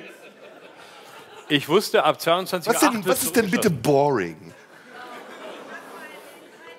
Möchtest du es anders haben? Sollen wir es dir ein bisschen anders besorgen? Wie möchtest du es denn gerne haben, Baby? Komm, setz du dich mal hin, mach mal eine Stunde Programm und nach einer Sekunde sag ich schon boring. Frechheit, sich das zu trauen, oder? Ich bin einer der größten Künstler, die diese Nation je gesehen hat. Und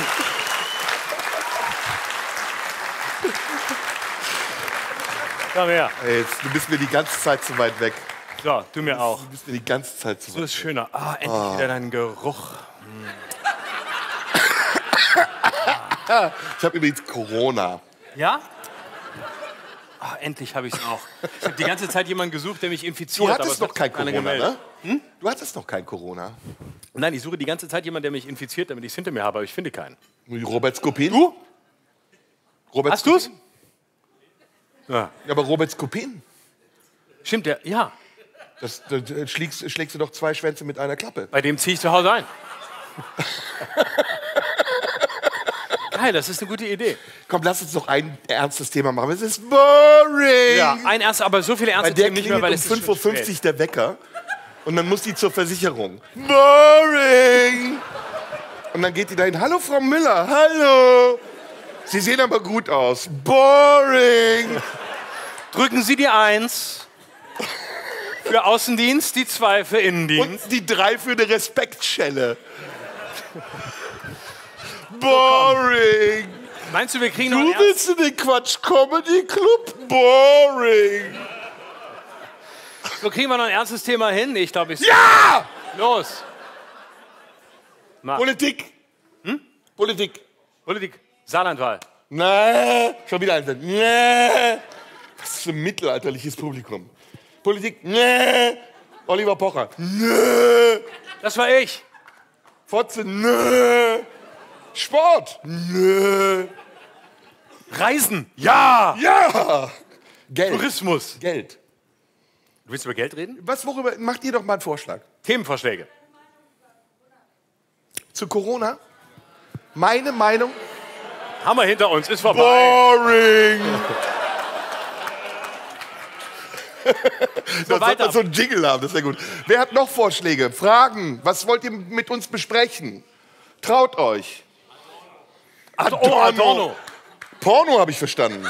Ich habe Porno Über verstanden. Adorno reden. Oh nein, komm, was soll Nee, denn wir das? nicht, haben wir alles gesagt. Also die drei Zeilen, die wir gelesen haben, haben wir schon rezitiert. Come on. Ja. Weiter? Bitte? Sterben, das ist die Frau, die uns eine runterhauen will und hofft, dass wir es nicht überleben. Aber sterben ist. Hallo. Ja. Ist mir zu düster für die Uhrzeit. Warum? Willst du über das Sterben reden? Dabei lässt sich mega gut ficken. Welcher Alkohol? Was Hier, um zu sterben? Ach, komm Da ist der Russe ey. schuld, ne? Es gibt kein vernünftiges. Also, dass die so dumm sind, hätte ich jetzt echt nicht gedacht. Nee.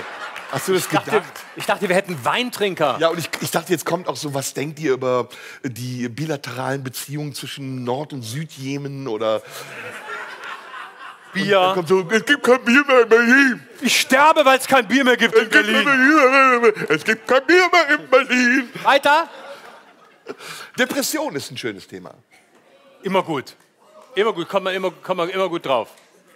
Wollen wir eine Abstimmung machen? Wir, nee, also Themenvorschläge, die wir sammeln. Ja. Und dann machen wir eine Abstimmung und Okay, dann los. sprechen wir auch über das Thema. Ja. BSE. Was war das denn? Das war ja vor meiner Geburt. Das habe ich gar nicht mitgekriegt. Das Ich war kenne der das, durchschaubare Versuch, lustig zu sein. kenn das nur aus Geschichtsbüchern. Moment, Karl Lauterbach. Hatten wir schon. Oh, das hatten wir schon oft, Ja. oder? Hat aber Annalena vorhin schon alles gesagt. Was? Parodie, ja, das machen wir noch am Ende. Machen wir später, wenn gar nichts mehr geht. Dann kommt Karl Lauterbach. Was ist mit, was ist mit sexuelle Fantasien? Oh, oh, oh, oh, Da, da, da fahren Sie doch ab. Okay, nein, abgelehnt. Ja, wenn man einen kleinen Schwanz hat, ist das boring. So, weiter. Oh Gott, No kann nur way! schiefgehen. No way! Achtung, wir reden über sexuelle Fantasien mit Feministinnen beim Sterben. Come on, das machen Das wir! ist es, oder? Ja, So, gut. Florian, Ich sage, ich sage die Stich, ich sage die Stichworte. Da rein. Ich sage die Stichworte schlecht gebumst und schon läuft der Shitstorm. Hallihallo. Schlecht gebumst? Oh. Aber wie war der Text? Du hast Was, aber was ist denn schlecht gebumst? Dann bin ich ja schuld. Wenn ich schlecht gebumst bin, bin ich ja der Bumser. Ja, du bist immer schuld. Nee, schlecht gebumst ist ja, das ist ja für mich eine Beleidigung. Warum? Wie lässt sich schlecht bumsen, ist gut. Ja, aber du bist doch schuld sein. Du bist, du bist Mann, du bist Türke, du bist schuld. Warum muss ich als Mann immer schuld sein? Das ist Gesetz. Und warum bin ich immer Türke? Weil du es gerade vorhin gesagt Ich hast. will das- mal nicht der das Türke ist dein sein. Geschäftsprinzip. Du hast von Anfang an gesagt, es ging dir Oh immer nur darum, der, der nein, Opfertürke Ich will zu nicht der sein. Türke sein. Bitte aber. Ich will auch mal deutsch sein. Geht aber nicht. Sei du mal Türke.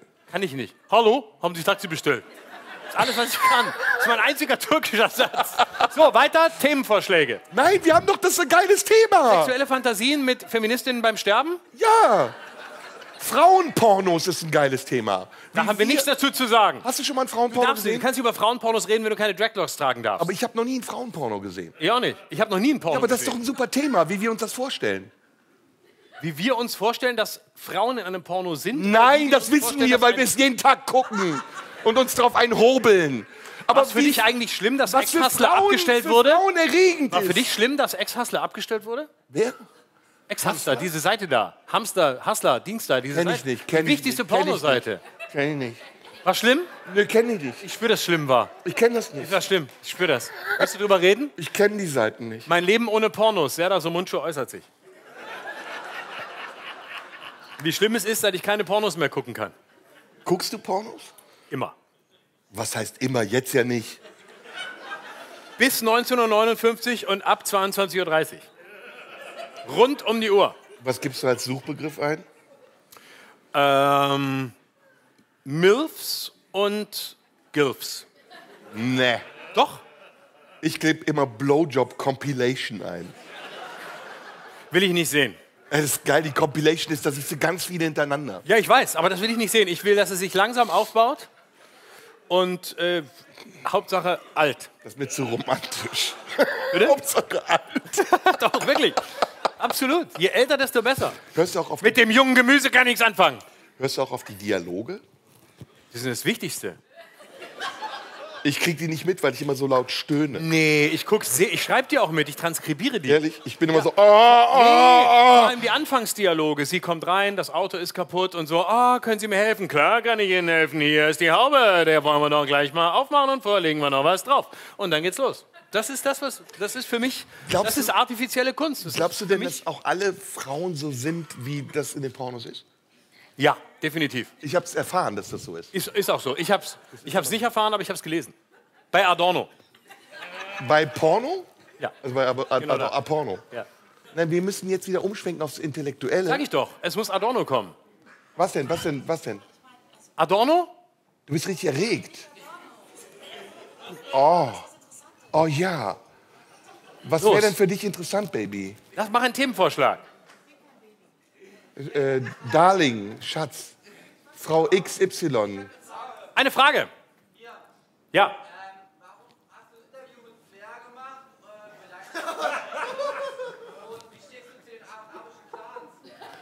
Das war eine, Er ist Frage ein an dich. eigener arabischer Clan. Das war eine Frage. Aber wir waren doch noch bei ihr. Wir müssen sie noch ernst nehmen. Lieber sie. Ja, er, das war ein Mann, aber ist egal. Aber ich habe jetzt gedacht, das war eine Frau. Nee, das war ein Mann. Weil er hat eine sehr weibliche Stimme gehabt. Er wollte wissen, wie du zu den arabischen Clans stehst. Das ist die Antwort. Wie war die Frage, wie ich zu Flair und arabischen Clan stehe?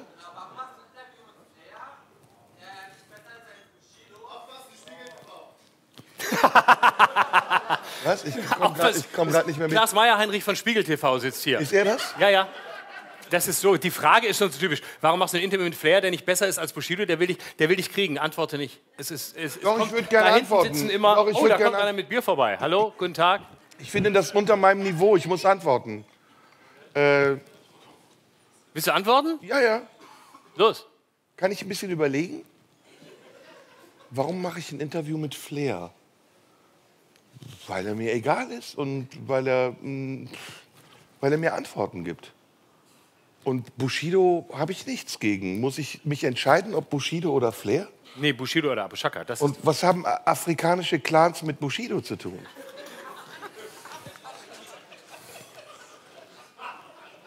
Es ist mir, also meine Antwort ist, es ist mir scheißegal. Das ist meine, ganz ehrlich, aus dem tiefsten Inneren meines Herzens, es ist mir scheißegal. was für fast alles gilt.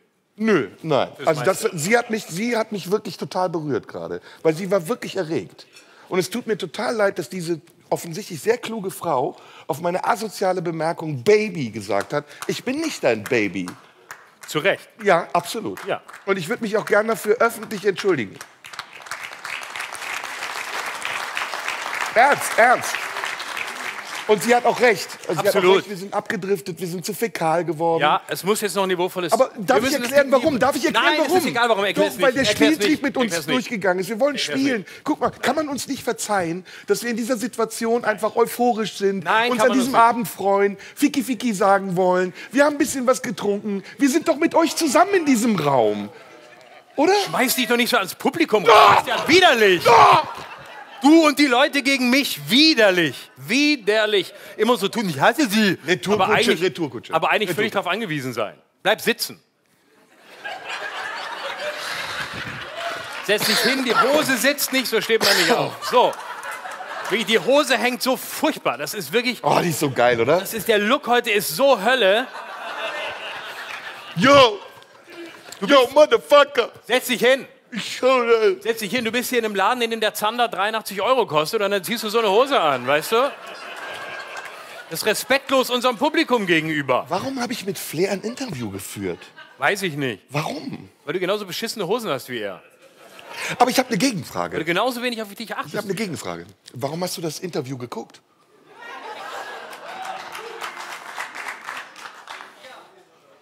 Und habe ich, dich- hab ich dich enttäuscht?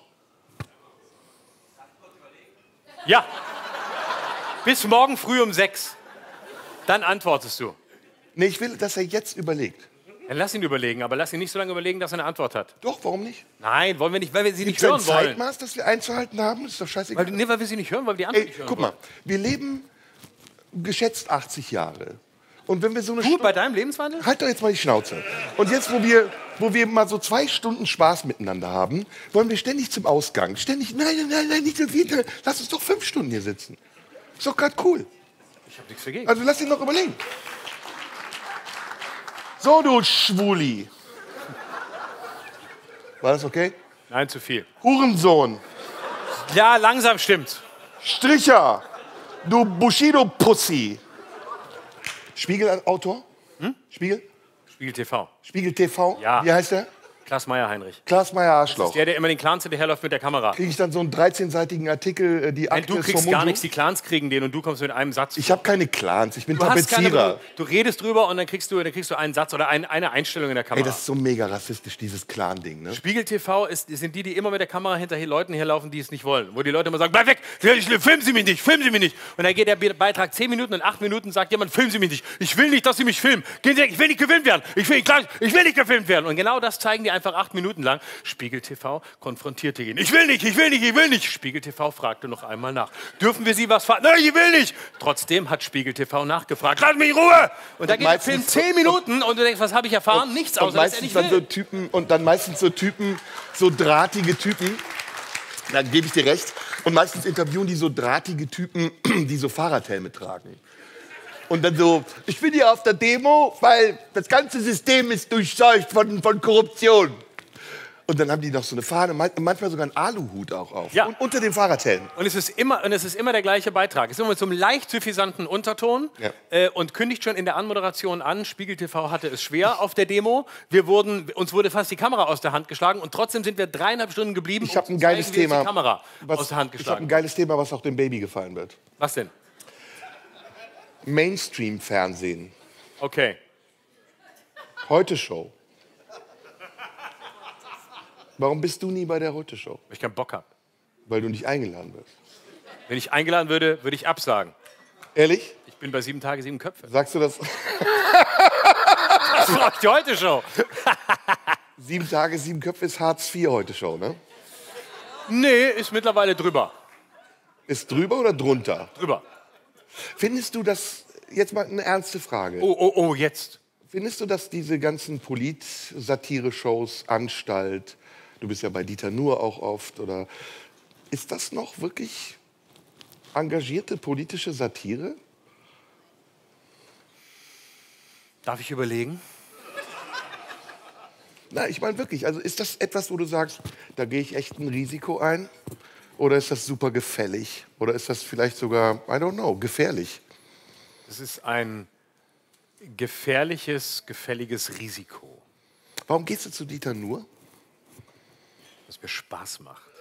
Weil es dir scheißegal ist. Nee, weil ich es weil ich's antizyklisch gut finde. Na, das legst du dir zurecht. Natürlich. Warum bin ich nicht in der Anstalt? Weil die dich nicht einladen. Früher. Bitte? Dummer Witz, egal, ignoriere. Das war der mit dem hier, Bier. Das war es mit ist der mal, mit dem ich Bier. will, entschuldige, ich will auf einen Punkt kommen. Für Ja. uns beide, wir werden ja, wir können das ja den Leuten erzählen, ist das eine Gewissensentscheidung. Ja. Wir werden eingeladen von solchen Sendungen und wir kriegen, das wissen die meisten nicht, oft auch Texte vorgeschrieben. In der Anstalt ist es so, die haben einen Chefautoren, haben wir neulich drüber gesprochen. Da kannst du deinen eigenen Stand-up spielen, aber du bist auch Teil eines Ja. Ensembles, Aber das ist nur da so. in dem dir das vorgeschrieben wird, was du sagst. Ist das so? Ja, würdest du sagen, nein? Doch. Ich war lange nicht da. Früher war das nicht Okay.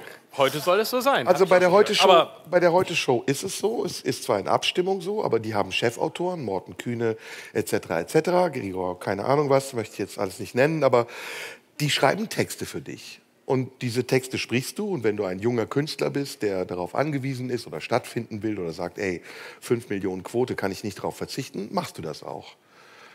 Ist das für dich in dem Punkt oder an dem Punkt, an dem du jetzt bist, kannst du da frei entscheiden und sagen, ich verzichte darauf? Machst du ja, das? in keine Sendung, in der mir irgendjemand einen Text schreibt. Das ist der Grund, Sieben Tage, sieben Köpfe? warum ich nicht. Nein, null. Das, da kannst du machen, was du willst. Das siehst du ja, wenn du es siehst. Nein, natürlich. Aber ist das ich will nur in Umfeld- Sendungen, in denen ich machen kann, was ich will. Ich würde nie ist in, das- ich, deswegen, das ist der Grund, warum ich da nicht hingehe. Aber ist das- Warum soll ich irgendwo hingehen, wo mir jemand. Gut, das ist bei der Heute schon natürlich auch im Prinzip, du gehst da hin, du spielst eine bestimmte Figur, ähm, die, die mehr oder weniger auf dich zurechtgeschrieben ist, und dann entscheidest du dich dafür, das genauso zu machen. Das kann man ja machen. Das ist ja auch nicht verwerflich.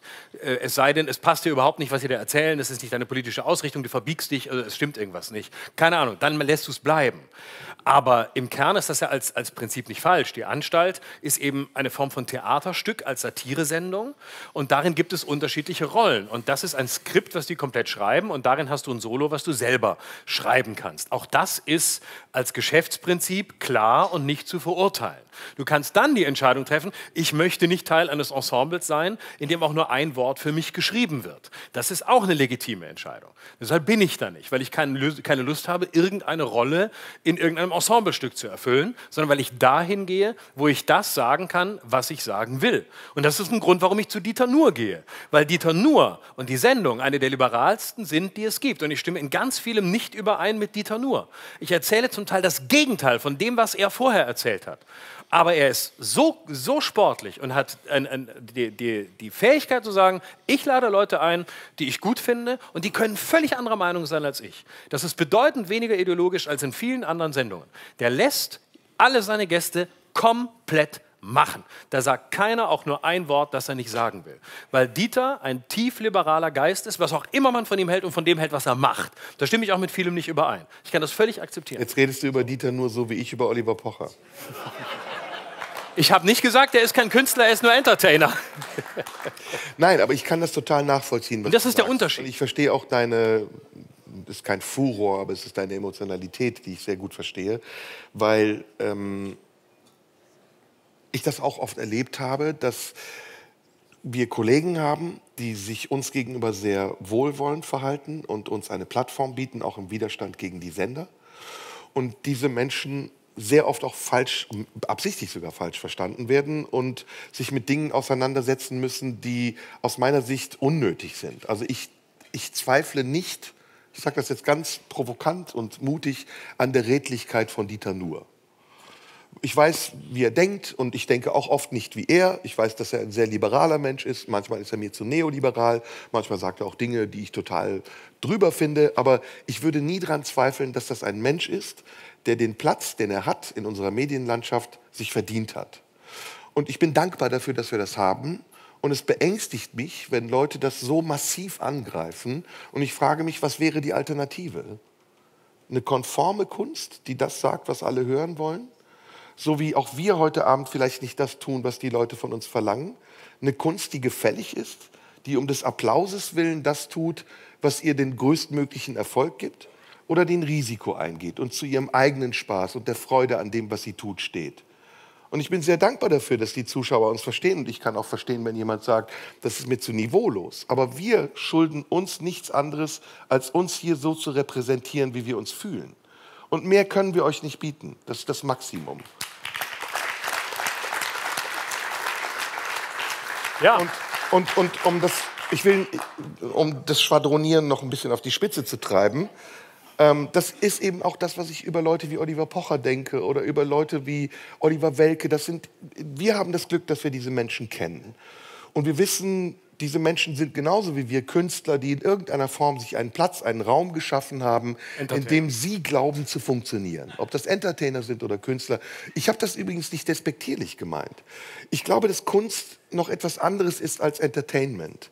Ich glaube, dass Kunst etwas mit Selbstlosigkeit zu tun hat. Und jemand, der es für sich selbst tut, der es macht, um Aufmerksamkeit zu bekommen und stattzufinden, der einen Geltungsdrang hat, der darf das, ohne dass man ihn dafür verurteilt. Der ist auch kein Narzisst oder kein Egozentriker, aber er ist kein Künstler. Weil für mich ist ein Künstler jemand auch, der einen gesellschaftlichen, einen gesellschaftlich-soziologisch-politischen Anspruch vertritt und seine Sicht auf die Welt durch die Arbeit, die er macht, verkörpert. Und das wäre zu viel für Oliver Pocher. Und das, das wäre zu viel. Und deswegen bin ich da vielleicht sehr, sehr weit weg von ihm. Aber trotzdem sage ich das nochmal. Ich finde es schäbig, Leute zu verraten in einer Minute, in der man sich des Applauses gewiss sein kann. Das ist für mich etwas, was ich nicht mehr machen will, das ich vielleicht auch mal gemacht habe, wofür ich mich heute schäme. So wie ich das auch eben ernst meinte. Die Frau hat gar nicht äh, schlecht gemeint, was sie gesagt hat, sondern sie hat auf unsere Aufforderung hin etwas sehr Ernstes gesagt. Und das wahrzunehmen und darauf einzugehen, trotz aller Freude und allem Spaß an der Provokation, die wir hier haben, an der Interaktion, die wir beide haben. Das ist übrigens eine enorme Stresssituation, die wir hier gerade erleben, nur um das den Leuten zu erklären, weil wir mögen uns eigentlich.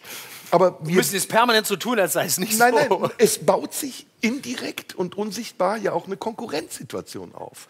Du machst einen Witz, die Leute klatschen. Ich könnte mich davon angegriffen fühlen. Du sagst Dinge, die mich vielleicht beleidigen, wie du bist fett und ich sag, du trägst einen Anzug. Wir gehen da sehr nah an eine Grenze, an der wir uns auch verletzen könnten. Und die Leute spielen das mit.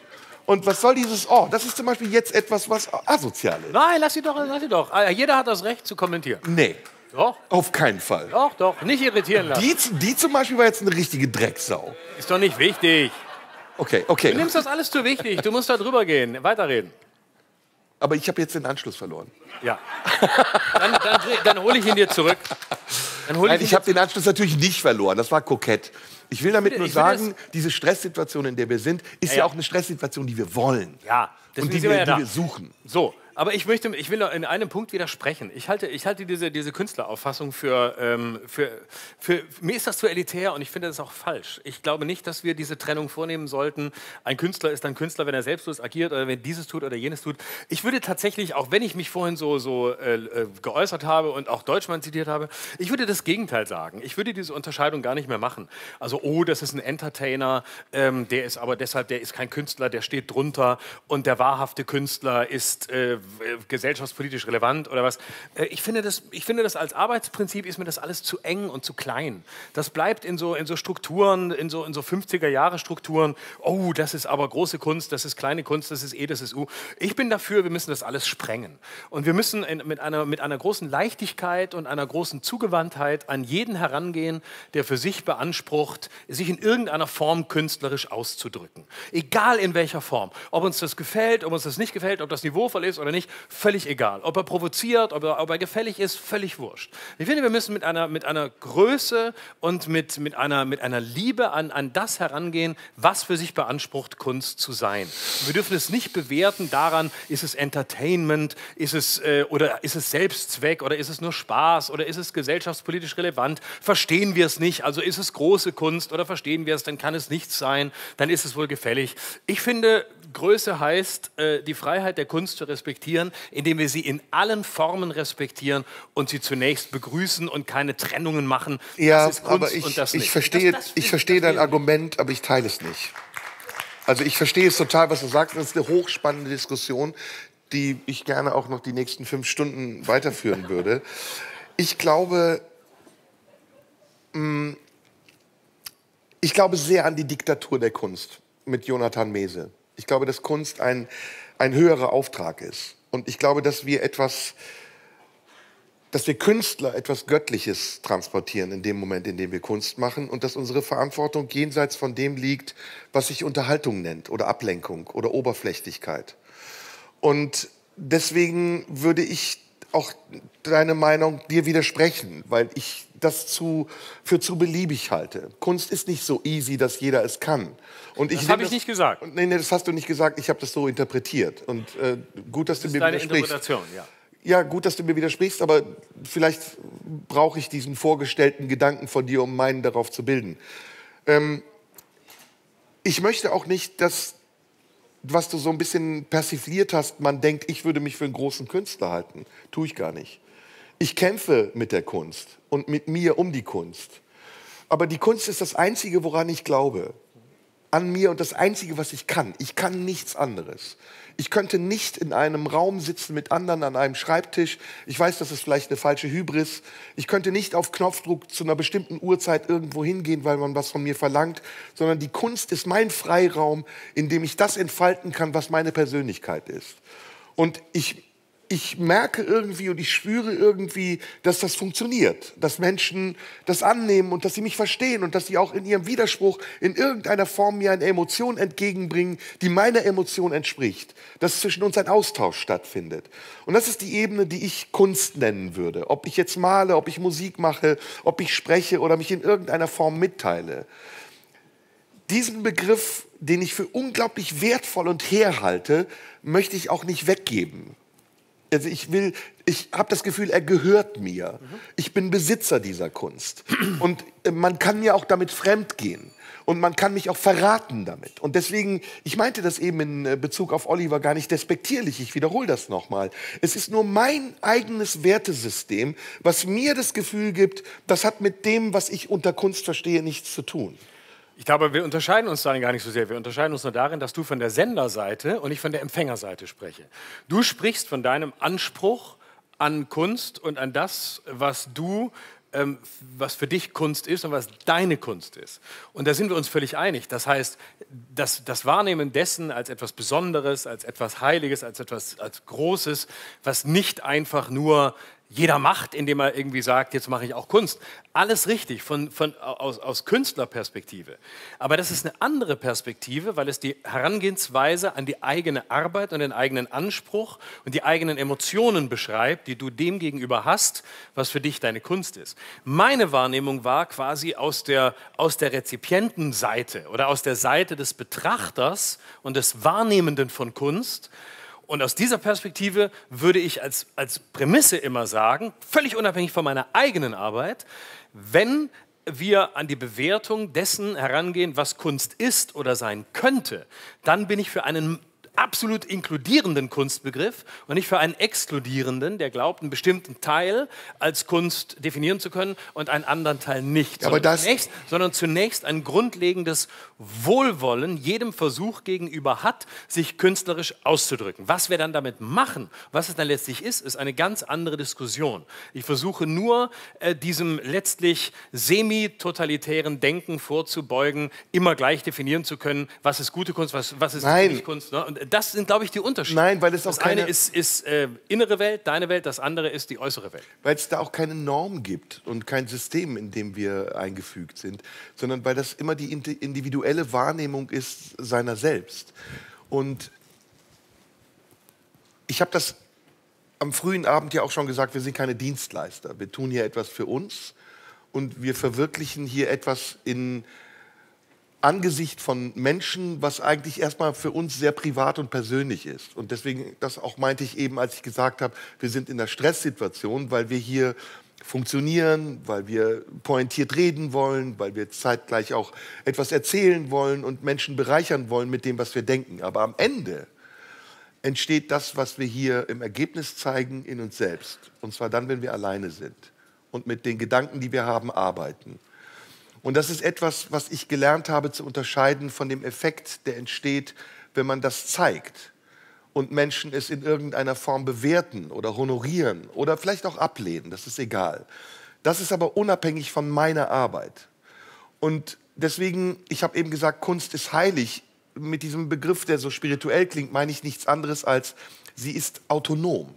Sie ist nicht autark. Sie ist nicht abgeriegelt von den Menschen. Und es ist natürlich kokett, wenn ich sage, das sind alles Arschlöcher. Überhaupt nicht. Es ist das Gegenteil. Und ich setze ein Abstraktionsvermögen heraus von Menschen, die dazu in der Lage sind, auf Metaebenen zu verstehen, dass ich das nicht meine, sondern dass es mir nicht darum geht, Menschen abzulehnen, sondern Menschen anzuziehen, indem ich das tue, was die Menschen nicht erwarten. Und hinter all dem, was ich sage und hinter all dem, was ich tue, steckt immer der Absicht, Liebe zu vermitteln. Und wenn das funktioniert, ist meine Kunst, die ich mit mir ausarbeite, in dem Moment, in dem ich mit mir alleine bin, die Kunst, die ich mit den Menschen teilen will, die mich verstehen in dem Moment, in dem ich mich ihnen zeige. In all der Verletzlichkeit, in all dem Unentschlossenen, in all dem Risiko, das ich in dem Moment eingehe, das zu tun, was meine Intuition mir befiehlt. Ach, come on, ey, das ist so billig daneben. Weitermachen. Soll ich es dir wirklich erklären? Wenn ich einen Mörder spiele, und du mich fragst, warum ich Menschen umbringe, muss ich dir nicht erklären, dass ich als Schauspieler manchmal ein Stilmittel brauche, um dir etwas darzustellen. Wenn ich Hurensohn sage, meine ich natürlich hier keinen persönlich, weil ich nicht weiß, wessen Mutter eine Hure ist. Und wenn dir das nicht passt, das ist okay. Darf ich darauf antworten oder möchtest du mit mir was, sag weiter.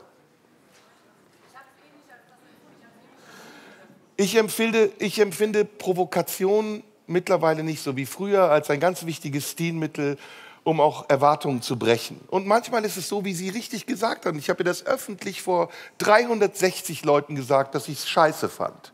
Manchmal ist es aber auch okay, weil es einfach mit dem Rhythmus der Sprache bricht, weil es mit dem Rhythmus der Erwartung bricht. Wir sprechen hier über ganz ernsthafte Dinge. Und du erwähnst nicht die 50 Minuten, in denen wir uns den Arsch aufgerissen haben, auf der obersten Metaebene zu sprechen, sondern du erwähnst ein Wort, was du dir gemerkt hast, was irgendwas in dir berührt hat, was mit dir und deinem Thema zu tun hat. Nämlich du als Frau fühlst dich von mir angegriffen oder egal, so what. Es ist nicht meine Aufgabe, deine Bedürfnisse zu befriedigen, sondern es ist deine Aufgabe, meine zu verstehen, wenn du in eine Veranstaltung kommst, auf der mein Name auf dem Plakat steht. Und und wenn, du dazu nicht, und wenn du dazu nicht bereit bist, dann ist es dein gutes Recht zu sagen, es gefällt mir nicht, ich gehe das nächste Mal nicht mehr hin, der Typ ist ein Arschloch, der ist selbstverliebt, aber ich kann mich nicht danach ausrichten, weil ich all diese Menschen hier nicht kenne. Ich weiß nicht, was ihr für Befindlichkeiten habt. Eure Mutter kann an Krebs gestorben sein, der nächste kann gerade im Lotto gewonnen haben, der andere kann mit einem guten Freund im Urlaub gewesen sein. Ich kann nur wissen, was ich heute Abend hier mitgebracht habe, nämlich die Freude und die Lust, mit meinem Freund Florian Schröder fünf Stunden oder zehn oder zwanzig einfach für euch eine gute Show zu machen.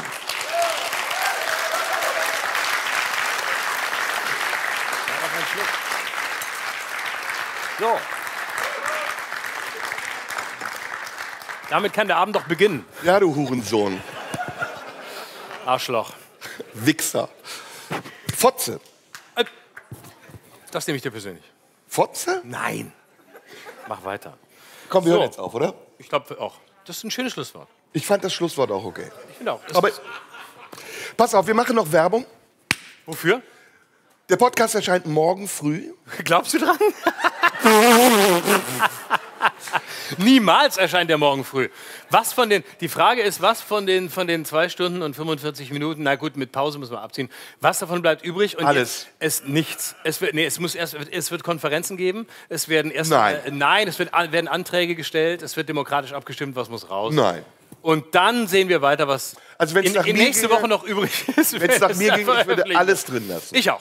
Ich Wenn es nach mir ging. Aber sind, sind wir die Redaktion? Wenn wir sind auf jeden Fall die gefühlte Reakt Redaktion. Reaktion. Gefühlte Redaktion, aber die gefühlte Redaktion, die nichts zu sagen hat. Das ist das Schöne. Die Redaktion, das ist alles Hurensöhne.